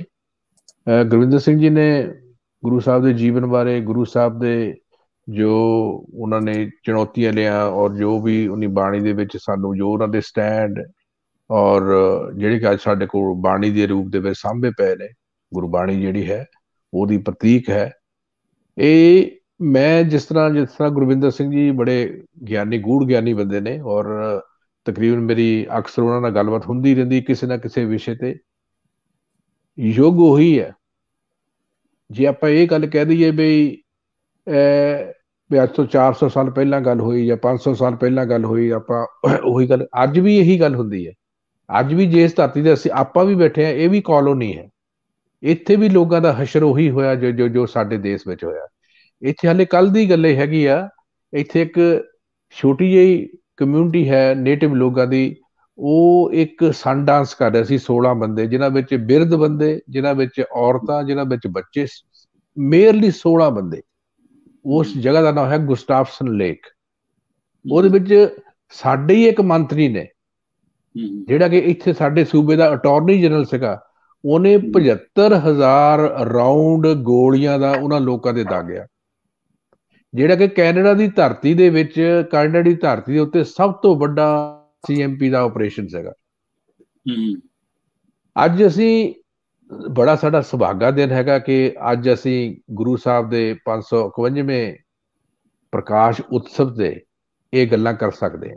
ਕਿਉਂਕਿ ਇਹ ਗੱਲਾਂ ਹਰ ਰੋਜ਼ ਦੀ ਜਦੋਂ ਆਪਾਂ ਸਵੇਰੇ ਵੀ ਅੱਜ ਗੱਲ ਕਰਦੇ ਸੀਗੇ ਅਸੀਂ ਜੇ ਸਵਾਸ ਸਵਾਸ ਗੁਰੂ ਸਾਹਿਬ ਦਾ ਜੋ ਹੁਕਮ ਹੈ ਜੋ ਗੁਰੂ ਸਾਹਿਬ ਨੇ ਸਾਨੂੰ ਸਾਨੂੰ ਗੁਰੂ ਰੂਪ ਬਾਣੀ ਦੇ ਵਿੱਚ ਦਿੱਤਾ ਹੈਗਾ ਜੇ ਅਸੀਂ ਉਹਨੂੰ ਵਿਚਾਰਦੇ ਨਹੀਂ ਹੈਗੇ ਔਰ ਅਸੀਂ ਕਹਿੰਦੇ ਭੁੱਲ ਜਾਂਦੇ, ਠੀਕ ਹੈ ਜੀ, ਸਾਲ ਜਦੋਂ ਆਊਗਾ ਫੇਰ ਆਪਾਂ ਆਪਣੇ ਇੱਕ ਨਗਰ ਕੀਰਤਨ ਕਰਾਂਗੇ, ਉੱਥੇ ਨੋਕੀ ਆਪਣੇ ਪਾਠ ਹੋਏਗਾ, ਉੱਥੇ ਅਸੀਂ ਫੇਰ ਆਪਣੇ ਘਰ ਨੂੰ ਪ੍ਰਸ਼ਾਦ ਲੈ ਕੇ ਘਰ ਨੂੰ ਚੱਲ ਜਾਵਾਂਗੇ। ਨਹੀਂ, ਅਸੀਂ ਸਵਾਸ ਸਵਾਸ ਉਹਨਾਂ ਗੱਲਾਂ ਦੇ ਪਹਿਰਾ ਦੇਣਾ, ਜਿੱਥੇ ਵੀ ਕੋਈ ਕਿਸੇ ਚੀਜ਼ ਦਾ ਕਿਸੇ, ਜਿਸ ਤਰ੍ਹਾਂ ਗੁਰਵਿੰਦਰ ਸਿੰਘ ਜੀ ਨੇ ਗੱਲ ਕੀਤੀ ਹੈਗੀ ਆ, ਕਿਸੇ ਨਿਤਾਣੇ ਨਾ ਨਮਾਣੇ ਨਾ ਨਿਹੱਥੇ ਨਾ ਕੋਈ ਗੱਲ ਹੁੰਦੀ ਹੈਗੀ ਆ, ਕਿਉਂਕਿ ਗੁਰੂ ਦੇ ਸਿੱਖ ਦੀ ਪਹਿਚਾਣ ਉਦੋਂ ਹੀ ਹੋਣੀ ਆ, ਜਦੋਂ ਉਹ ਗੁਰੂ ਦੇ ਸਿੱਖ ਨੂੰ ਕੀ ਉੱਥੇ ਆਪਣਾ ਸਟੈਂਡ ਲੈਂਦੇ ਆ ਉੱਥੇ ਖੜਦੇ ਆ ਉੱਥੇ ਫਿਰ ਲੋਕ ਪੁੱਛਦੇ ਆ ਵੀ ਇਹ ਬੰਦੇ ਕੌਣ ਨੇ? ਹਾਂਜੀ ਇਹ ਗੁਰੂ ਨਾਨਕ ਦੇ ਸਿੱਖ ਨੇ ਇਹ ਗੁਰੂ ਗੋਬਿੰਦ ਸਿੰਘ ਜੀ ਦੇ ਸਿੱਖ ਨੇ। ਇਹ ਸੋ ਮੇਰਾ ਹਰਜੀਤ ਸਿੰਘ ਜੀ ਮਤਲਬ ਜਿੰਨੇ ਵੀ ਸੱਜਣ ਸੁਣ ਰਹੇ ਨੇ ਨੋਗੇ ਉਹਨਾਂ ਸਾਰਿਆਂ ਨੂੰ ਮਤਲਬ ਆਪਣੇ ਬੜੀ ਨਿਮਰਤਾ ਦੇ ਨਾਲ ਲੱਗਿਆ ਕਿ ਜਿਹੜਾ ਹਰੇਕ ਯੁੱਗ ਦੇ ਵਿੱਚ ਆਪਾਂ ਕਈ ਵਾਰ ਗੱਲ ਕਹਿੰਦੇ ਜੀ 500 ਸਾਲ ਪਹਿਲਾਂ ਗੱਲ ਹੋਈ ਅੱਜ ਤਾਂ ਹੁੰਦੀ ਨਹੀਂ ਅੱਜ ਵੀ ਹੁੰਦੀ ਹੈ। ਉਹ ਦੇਖਣ ਲਈ ਨੋਗੀ ਸਾਨੂੰ ਗੁਰੂ ਸਾਹਿਬ ਦੀ ਅੱਖ ਚਾਹੀਦੀ ਗੁਰੂ ਸਾਹਿਬ ਦੀ ਜਿਹੜੀ ਬਾਣੀ ਦਾ ਓਟ ਆਸਰਾ ਲੈ ਕੇ ਅਸੀਂ ਉਹ ਗੱਲ ਨੂੰ ਸਮਝ ਸਕਦੇ ਹਾਂ। ਜੀ। ਤਾਂ ਫੇਰ ਹੀ ਅਸੀਂ ਮਤਲਬ ਆਪਣੇ ਆਪ ਨੂੰ ਮਤਲਬ ਕਹਾ ਸਕਦੇ ਵੀ ਅਸੀਂ ਗੁਰੂ ਸਾਹਿਬ ਦੇ ਸਿੱਖ ਹੈਗੇ ਆ ਕਿਉਂਕਿ ਆਪਣੇ ਅਲਾਮਾ ਇਕਬਾਲ ਸਾਹਿਬ ਨੇ ਮਤਲਬ ਆਪਣੇ ਮਤਲਬ ਬੜੀ ਉੱਚੀ ਸੁਰ ਨਾਲ ਇੱਕ ਉਹਨਾਂ ਦੀ ਇੱਕ ਇੱਕ ਸ਼ੇਰ ਹੈਗਾ ਮੁੱਦ ਤੇ ਗੁਜ਼ਰੀ ਹੈ ਮੁੱਦ ਤੇ ਗੁਜ਼ਰੀ ਹੈ ਰੰਜੋ ਗਮ ਸਹਤੇ ਹੋਏ ਸ਼ਰਮ ਸੀ ਆਤੀ ਹੈ ਇਸ ਵਤਨ ਕੋ ਵਤਨ ਕਹਤੇ ਹੋ ਜਿਸ ਜਿਹੜਾ ਕੋਈ ਵੀ ਦੇਸ਼ ਆ, ਕੋਈ, ਉਹ ਦੇਸ਼ ਲੋਕਾਂ ਨਾਲ ਬਣਦਾ। ਜੇ ਉਸ ਦੇਸ਼ ਦੇ ਲੋਕਾਂ ਨਾਲ ਇਦਾਂ ਦੁਰਵਿਵਹਾਰ ਹੁੰਦਾ ਯੂ نو ਉਹਨਾਂ ਦੀਆਂ ਜੋ ਦੇਖੋ ਉਹਨਾਂ ਦੀ ਕੋਈ ਮੰਗ ਠੀਕ ਆ ਜਾਂ ਗਲਤ ਇਹ ਇਹ ਵੀ ਬਾਅਦ ਦੀ ਗੱਲ ਆ। ਤੁਸੀਂ ਉਹਨਾਂ ਨਾਲ ਗੱਲਬਾਤ ਤਾਂ ਕਰੋ। ਉਹਨਾਂ ਦੇ, ਉਹਨਾਂ ਨੂੰ ਬੈਠ ਕੇ ਗੱਲ ਤਾਂ ਕਰੋ ਕਿਉਂਕਿ ਉਹ ਤੁਹਾਡੇ ਵਰਗੇ ਹੀ ਨੇ। ਔਰ ਤੁਸੀਂ ਤੁਸੀਂ ਤਾਂ ਆਪ ਖੁਦ ਕਹਿੰਦੇ ਹੋ ਕਿ ਅਸੀਂ ਸਾਨੂੰ, ਅਸੀਂ ਉਹਨਾਂ ਦਾ ਮਤਲਬ ਆਪਣੇ ਮਤਲਬ ਉਹਨਾਂ ਤੋਂ ਵੋਟਾਂ ਲੈ ਕੇ ਅਸੀਂ ਅਸੀਂ ਮਤਲਬ ਰਾਜ ਭਾਗ ਤੇ ਬੈਠੇ ਹੈਗੇ ਉਹਨਾਂ ਨਾਲ ਗੱਲਬਾਤ ਕਿਉਂ ਨਹੀਂ ਕਰਦੇ? ਕਿਉਂ ਉਹਨਾਂ ਦੇ ਰਾਹ ਦੇ ਵਿੱਚ ਤੁਸੀਂ ਕੰਡੇ ਖਿਲਾਰਦੇ ਹੋ? ਕਿਉਂ ਤੁਸੀਂ ਉਹਨਾਂ ਨੂੰ ਕਦੇ ਵੱਖ-ਵੱਖ ਤਰ੍ਹਾਂ ਦੇ ਫਤਵੇ ਦਿੰਦੇ ਹੋ? ਇਹ ਇਹ ਇਹ ਨੇ ਜੀ, ਇਹ ਉਹ ਨੇ ਜੀ, ਇਹ, ਜੇ ਨੇ ਜੀ ਉਹ ਨੇ, ਕਿਉਂਕਿ ਤੁਹਾਡੇ ਹੱਥ ਦੇ ਵਿੱਚ ਤਾਕਤ ਹੈ। ਸੋ ਸਮਾਂ ਆਪਣੇ ਹਰਜੀਤ ਸਿੰਘ ਜੀ, ਸਮਾਂ ਹਮੇਸ਼ਾ ਹੀ ਇੱਕੋ ਜਿਹਾ ਰਹਿੰਦਾ। ਇਹ ਇਹ ਸਮੇਂ ਦੇ ਵਿੱਚ ਨੋਗੇ ਜਦ ਤੱਕ ਕੋਈ ਇਦਾਂ ਦਾ ਰਾਜ ਨਾ ਸਿਰਜ ਹੋ ਜਵੇ, ਜਿਸ ਤਰ੍ਹਾਂ ਗੁਰੂ ਗੁਰੂ ਗੋਬਿੰਦ ਸਿੰਘ ਜੀ ਨੇ ਹਲੇਮੀ ਰਾਜ ਦੀ ਗੱਲ ਕੀਤੀ ਹੈ, ਉਦੋਂ ਸ਼ਾਇਦ ਨੋਗੇ ਸਾਨੂੰ ਇਹ ਜਿਹੜੀਆਂ ਚੀਜ਼ਾਂ ਖਤਮ ਹੋ ਜਾਣਗੀਆਂ, ਪਰ ਇਹ ਲਿੱਸੇ ਦੀ ਤਾਂ ਤਕੜੇ ਦੀ ਜਿਹੜੀ ਜਿਹੜੀ ਜੰਗ ਹੈ ਜਾਂ ਲੜਾਈ ਹੈ ਜਾਂ ਮਤਲਬ ਜਿਸ ਵੀ ਰੂਪ ਚ ਹੈਗੀ, ਉਹ ਰਹਿਣੀ ਰਹਿਣੀ ਹੈਗੀ ਆ। ਅਸੀਂ ਕਰਕੇ ਗੁਰੂ ਸਾਹਿਬ ਦੇ ਨੋਕੀ ਆਪਣੇ ਸਿੱਖ ਹੈਗੇ ਆ, ਗੁਰੂ ਸਾਹਿਬ ਦੇ ਅਨਿਆਈ ਹੈਗੇ ਆ ਅਸੀਂ ਹਮੇਸ਼ਾ ਨੋਕੀ ਲਕੀਰ ਦੇ ਲਿੱਸਿਆਂ ਵਾਲੇ ਪਾਸੇ ਖੜਨਾ ਹੈਗਾ। ਇਹੀ ਅਸੀਂ ਮਤਲਬ ਗੁਰੂ ਸਾਹਿਬ ਨੂੰ ਹੋਰ ਤਾਂ ਅਸੀਂ ਕੁਝ ਨਹੀਂ ਦੇ ਸਕਦੇ। ਇਹੀ ਸਾਡੇ ਗੁਰੂ ਸਾਹਿਬ ਨੂੰ ਆਪਣੀ ਸੱਚੀ ਸ਼ਰਧਾਂਜਲੀ ਆ। ਇਹੀ ਗੁਰੂ ਸਾਹਿਬ ਦੀ ਸਾਨੂੰ ਸੱਚੀ ਯਾਦ ਹੈ। ਇਹੀ ਗੁਰੂ ਸਾਹਿਬ ਦੇ ਅੱਗੇ ਆਪਣੇ ਗੁਰਬਾਣੀ ਤੇ ਜਿੰਨਾ ਵੀ ਅਸੀਂ ਚੱਲ ਸਕਦੇ ਹੈਗੇ ਆ, ਘੱਟੋ ਘੱਟ ਅਸੀਂ ਇਹ ਅਹਿਦ ਕਰੀਏ ਕਿ ਅਸੀਂ ਲਿੱਸੇ ਨਾਲ ਖੜਨਾ ਹੈਗਾ। ਅਸੀਂ ਹਮੇਸ਼ਾ ਨੋਗੀਆ ਉਹਨਾਂ ਲੋਕਾਂ ਨਾਲ ਖੜਨਾ ਜਿਨ੍ਹਾਂ ਤੇ ਜ਼ੁਲਮ ਹੁੰਦਾ। ਭਾਵੇਂ ਕੋਈ ਜ਼ੁਲਮ ਕਰਨ ਵਾਲਾ ਭਾਵੇਂ ਕੋਈ ਵੀ ਹੋਵੇ, ਭਾਵੇਂ ਸਾਡੇ ਘਰ ਦਾ ਹੋਵੇ ਜਾਂ ਬਾਹਰ ਦਾ ਹੋਵੇ। ਅਸੀਂ ਉਦ ਤੱਕ ਅਸੀਂ ਸੱਚੇ ਸੁੱਚੇ ਸਿੱਖ ਨਹੀਂ ਕਹਾ ਸਕਦੇ। ਜੇ ਅਸੀਂ ਲਾਈਨ ਦੇ ਆਪਣਾ ਮਤਲਬ ਪਿੱਛੇ ਹੋ ਜਾਈਏ ਜਾਂ ਮੂੰਹ ਮੋੜ ਕੇ ਚੱਲ ਜਾਈਏ ਨੋਗੀਆ ਇਹ ਅੱਜ ਦੀ ਅੱਜ ਅੱਜ ਦੀਆਂ ਗੱਲਾਂ ਸਾਡੇ ਸਾਹਮਣੇ ਆ ਸਾਡੀ ਛੋਟੀ ਜਿਹੀ ਉਮਰ ਹੈਗੀ ਆ ਅਸੀਂ ਇਹ ਸਾਰੀਆਂ ਗੱਲਾਂ ਆਪਣੇ ਪਿੰਡੇ ਤੇ ਹੰਡਾਈਆਂ ਯੂ نو ਸਾਰਾ ਕੁਝ ਹੰਡਾਇਆ ਗੁਲਾਮੀ ਨੋਗੇ ਇਸ ਇਹਨਾਂ ਮੁਲਕਾਂ 'ਚ ਵੀ ਹੁੰਦੀ ਹੈਗੀ ਆ ਪਰ ਅਸੀਂ ਭੁੱਲ ਜੰਨੇ ਆ। ਸਾਨੂੰ ਕਈ ਵਾਰ ਚਾਹ ਚੜ ਜਾਂਦਾ ਕਿ ਜੇ ਕੋਈ ਬੰਦਾ ਜੀ ਵੱਡਾ ਕੋਈ ਵੱਡਾ ਆ ਗਿਆ ਤਾਂ ਉਹਨਾਂ ਉਹਨਾਂ ਫੋਟੋ ਖਿਚਾ ਲਓ ਜੀ, ਉਹਨੂੰ ਘਰੇ ਸੱਦ ਲਓ ਜੀ, ਉਹਨੂੰ ਫਲਾਣਾ, ਜੇ ਸਾਡੇ ਘਰਾਂ 'ਚ ਕਿਸੇ ਨੇ ਆਉਣਾ, ਸਾਡੇ ਘਰ 'ਚ ਕੋਈ ਨਤਾਣੇ ਲੋਕ ਹੋਣ ਸਾਡੇ ਘਰਾਂ ਦੇ ਵਿੱਚ ਉਹ ਲੋਕ ਹੋਣ ਨਗੇ ਜਿਹੜੇ ਨੋਗੀ ਆਪਣੇ ਮਤਲਬ ਸਾਡੇ ਹਾਣ ਦੇ ਹੈਗੇ ਨਾ ਕਿ ਅਸੀਂ ਨੋਗੀ ਆਪ ਗੁਰੂ ਸਾਹਿਬ ਗੁਰਵਿੰਦਰ ਸਿੰਘ ਜੀ ਨੇ ਬਹੁਤ ਵੱਡੀਆਂ ਗੱਲਾਂ ਕੀਤੀਆਂ ਹੈਗੀਆਂ ਮੇਰੀ ਸਾਡੇ, ਅਸੀਂ ਤਾਂ ਉਹਨਾਂ ਜਿਹੜੇ ਜਿਹੜੇ ਜਿਹੜੇ ਬਿਲਕੁਲ ਨਤਾਣੇ ਬੰਦੇ ਆ, ਜਿਹੜੇ ਕਿ ਬਿਲਕੁਲ ਹਾਸ਼ੀਏ ਤੇ ਲੋਕ ਹੈਗੇ ਸਾਡੇ ਸਾਡੀ ਤਾਂ ਰਿਸ਼ਤੇਦਾਰੀ ਉਹਨਾਂ ਉਹਨਾਂ ਲੋਕਾਂ ਨਾਲ ਹੈਗੀ। ਬਿਲਕੁਲ ਜੀ। ਇਹਨਾਂ ਸ਼ਬਦਾਂ ਨਾਲ ਹਰਜੀਤ ਸਿੰਘ ਜੀ ਤੁਹਾਡਾ ਫੇਰ ਇੱਕ ਵਾਰ ਧੰਨਵਾਦ ਕਿ ਤੁਸੀਂ ਅੱਜ ਗੁਰਵਿੰਦਰ ਸਿੰਘ ਜੀ ਨੂੰ ਲੈ ਕੇ ਆਏ ਉਹਨਾਂ ਉਹਨਾਂ ਦੇ ਖਿਆਲ ਸੁਣਦਾ ਆਪਾਂ ਨੂੰ ਸਾਰਿਆਂ ਨੂੰ ਸੁਭਾਗ ਪ੍ਰਾਪਤ ਹੋਇਆ। ਤੋਂ ਇਹਨਾਂ ਗੱਲਾਂ ਦਾ ਇੱਕ ਵਾਰ ਫੇਰ ਆਪਣੇ ਇਸ 551ਵੇਂ ਪ੍ਰਕਾਸ਼ ਉਤਸਵ ਤੇ ਜਿੰਨੇ ਵੀ ਲੋਕ ਸੁਣ ਰਹੇ ਨੇ ਉਹਨਾਂ ਨੂੰ ਉਹਨਾਂ ਨੂੰ ਬਹੁਤ ਬਹੁਤ ਵਧਾਈ। ਬਹੁਤ ਬਹੁਤ ਧੰਨਵਾਦ ਜੀ ਮਲੀ ਸਾਹਿਬ। ਆਪ ਜੀ ਦਾ ਬਹੁਤ ਸੋਹਣੀਆਂ ਆਪ ਨੇ ਵਿਚਾਰਾਂ ਕੀਤੀਆਂ। ਤੇ ਲੋ ਜੀ ਦੋਸਤੋ, ਸਾਨੂੰ 15-20 ਮਿੰਟ ਦੀ ਜਰਾ ਥੋੜੀ ਜਿਹੀ ਬ੍ਰੇਕ ਦਿਓ ਤੇ ਅਸੀਂ ਕਿਉਂਕਿ 3 ਵਜੇ ਦਾ ਇਹ ਪ੍ਰੋਗਰਾਮ ਚੱਲ ਰਿਹਾ ਤੇ ਘਰ ਦੇ ਵਿੱਚ ਬਾਬਾ ਜੀ ਦਾ ਪਾਠ ਕਰਕੇ, ਅਰਦਾਸ ਕਰਕੇ 15 ਮਿੰਟ ਤੋਂ ਬਾਅਦ ਫਿਰ ਦੁਬਾਰਾ ਤੋਂ ਪ੍ਰੋਫੈਸਰ ਰਣਜੀਤ ਸਿੰਘ ਜੀ ਤਨ ਤਨ ਜੀ ਦੇ ਨਾਲ ਅੱਜ ਗੱਲਬਾਤ ਹੋਏਗੀ। ਬਹੁਤ ਸੋਹਣਾ ਵਿਚਾਰ, ਉਸ ਤੋਂ ਬਾਅਦ ਬੜੇ ਬੜੇ ਗੁਣੀ ਵਿਦਵਾਨ ਸਾਡੇ ਨਾਲ ਸੱਜਣ ਜੁੜਨਗੇ, ਤਾਂ ਉਸ ਤੋਂ ਪਹਿਲਾਂ ਤੁਹਾਨੂੰ ਅਸੀਂ ਇੱਕ ਬਹੁਤ ਪਿਆਰਾ ਸ਼ਬਦ ਸਰਵਣ ਕਰਾਉਨੇ ਆ ਤੇ ਇਸ ਸ਼ਬਦ ਦੇ ਨਾਲ ਤੁਸੀਂ ਜੁੜੋ ਤੇ ਅਸੀਂ ਇਸ ਪ੍ਰੋਗਰਾਮ ਦਾ ਜੋ ਹੈ ਜਿਹੜਾ ਚੱਲ ਰਿਹਾ ਇੱਥੋਂ ਇੱਕ ਵਾਰੀ ਬਸ ਸਾਨੂੰ ਛੁੱਟੀ ਦਿਓ ਤੇ ਫਿਰ ਅਸੀਂ ਬਹੁਤ ਜਲਦੀ ਜੁੜਦੇ ਹਾਂ ਤੁਹਾਡੇ ਨਾਲ ਤੇ ਅੱਜ ਦੇ ਇਸ ਪ੍ਰੋਗਰਾਮ ਦੇ ਵਿੱਚ ਬਹੁਤ ਹੀ ਸੋਹਣੀ ਗੱਲਬਾਤ ਰਹੇਗੀ ਤੇ ਜਿਹਦਾ ਸਾਨੂੰ ਸਾਰਿਆਂ ਨੂੰ ਇੰਤਜ਼ਾਰ ਸੀ ਬੜੇ ਦੇਰ ਤੋਂ ਤੇ ਉਹ ਸਾਡਾ ਜਿਹੜਾ ਇੰਤਜ਼ਾਰ ਦਾ ਟਾਈਮ ਹੈ ਅੱਜ ਖਤਮ ਹੁੰਦਾ ਹੈ ਤੇ ਅਸੀਂ ਕੋਸ਼ਿਸ਼ ਕਰੀਏ ਤੇ ਬੜੇ ਪਿਆਰ ਦੇ ਨਾਲ ਅੱਜ ਦੇ ਇਸ ਪ੍ਰੋਗਰਾਮ ਦੇ ਨਾਲ ਜੁੜੀਏ। ਬਸ ਅਰਦਾਸ ਕਰਕੇ ਦੁਬਾਰਾ ਤੋਂ ਤੁਹਾਡੇ ਨਾਲ ਮਿਲਦੇ ਹਾਂ ਜੀ। ਬਹੁਤ ਬਹੁਤ ਧੰਨਵਾਦ। ਤੇ ਮਲੀ ਸਾਹਿਬ 15 ਮਿੰਟ ਦੀ ਬ੍ਰੇਕ ਅਰਦਾਸ ਕਰਕੇ ਆਏ ਤੇ ਫਿਰ ਆਪਾਂ ਦੁਬਾਰਾ ਮਿਲਦੇ ਹਾਂ ਜੀ। ਬਹੁਤ ਬਹੁਤ ਧੰਨਵਾਦ। ਬਹੁਤ ਬਹੁਤ ਧੰਨਵਾਦ ਜੀ। ਸਤਿ ਸ਼੍ਰੀ ਅਕਾਲ ਜੀ।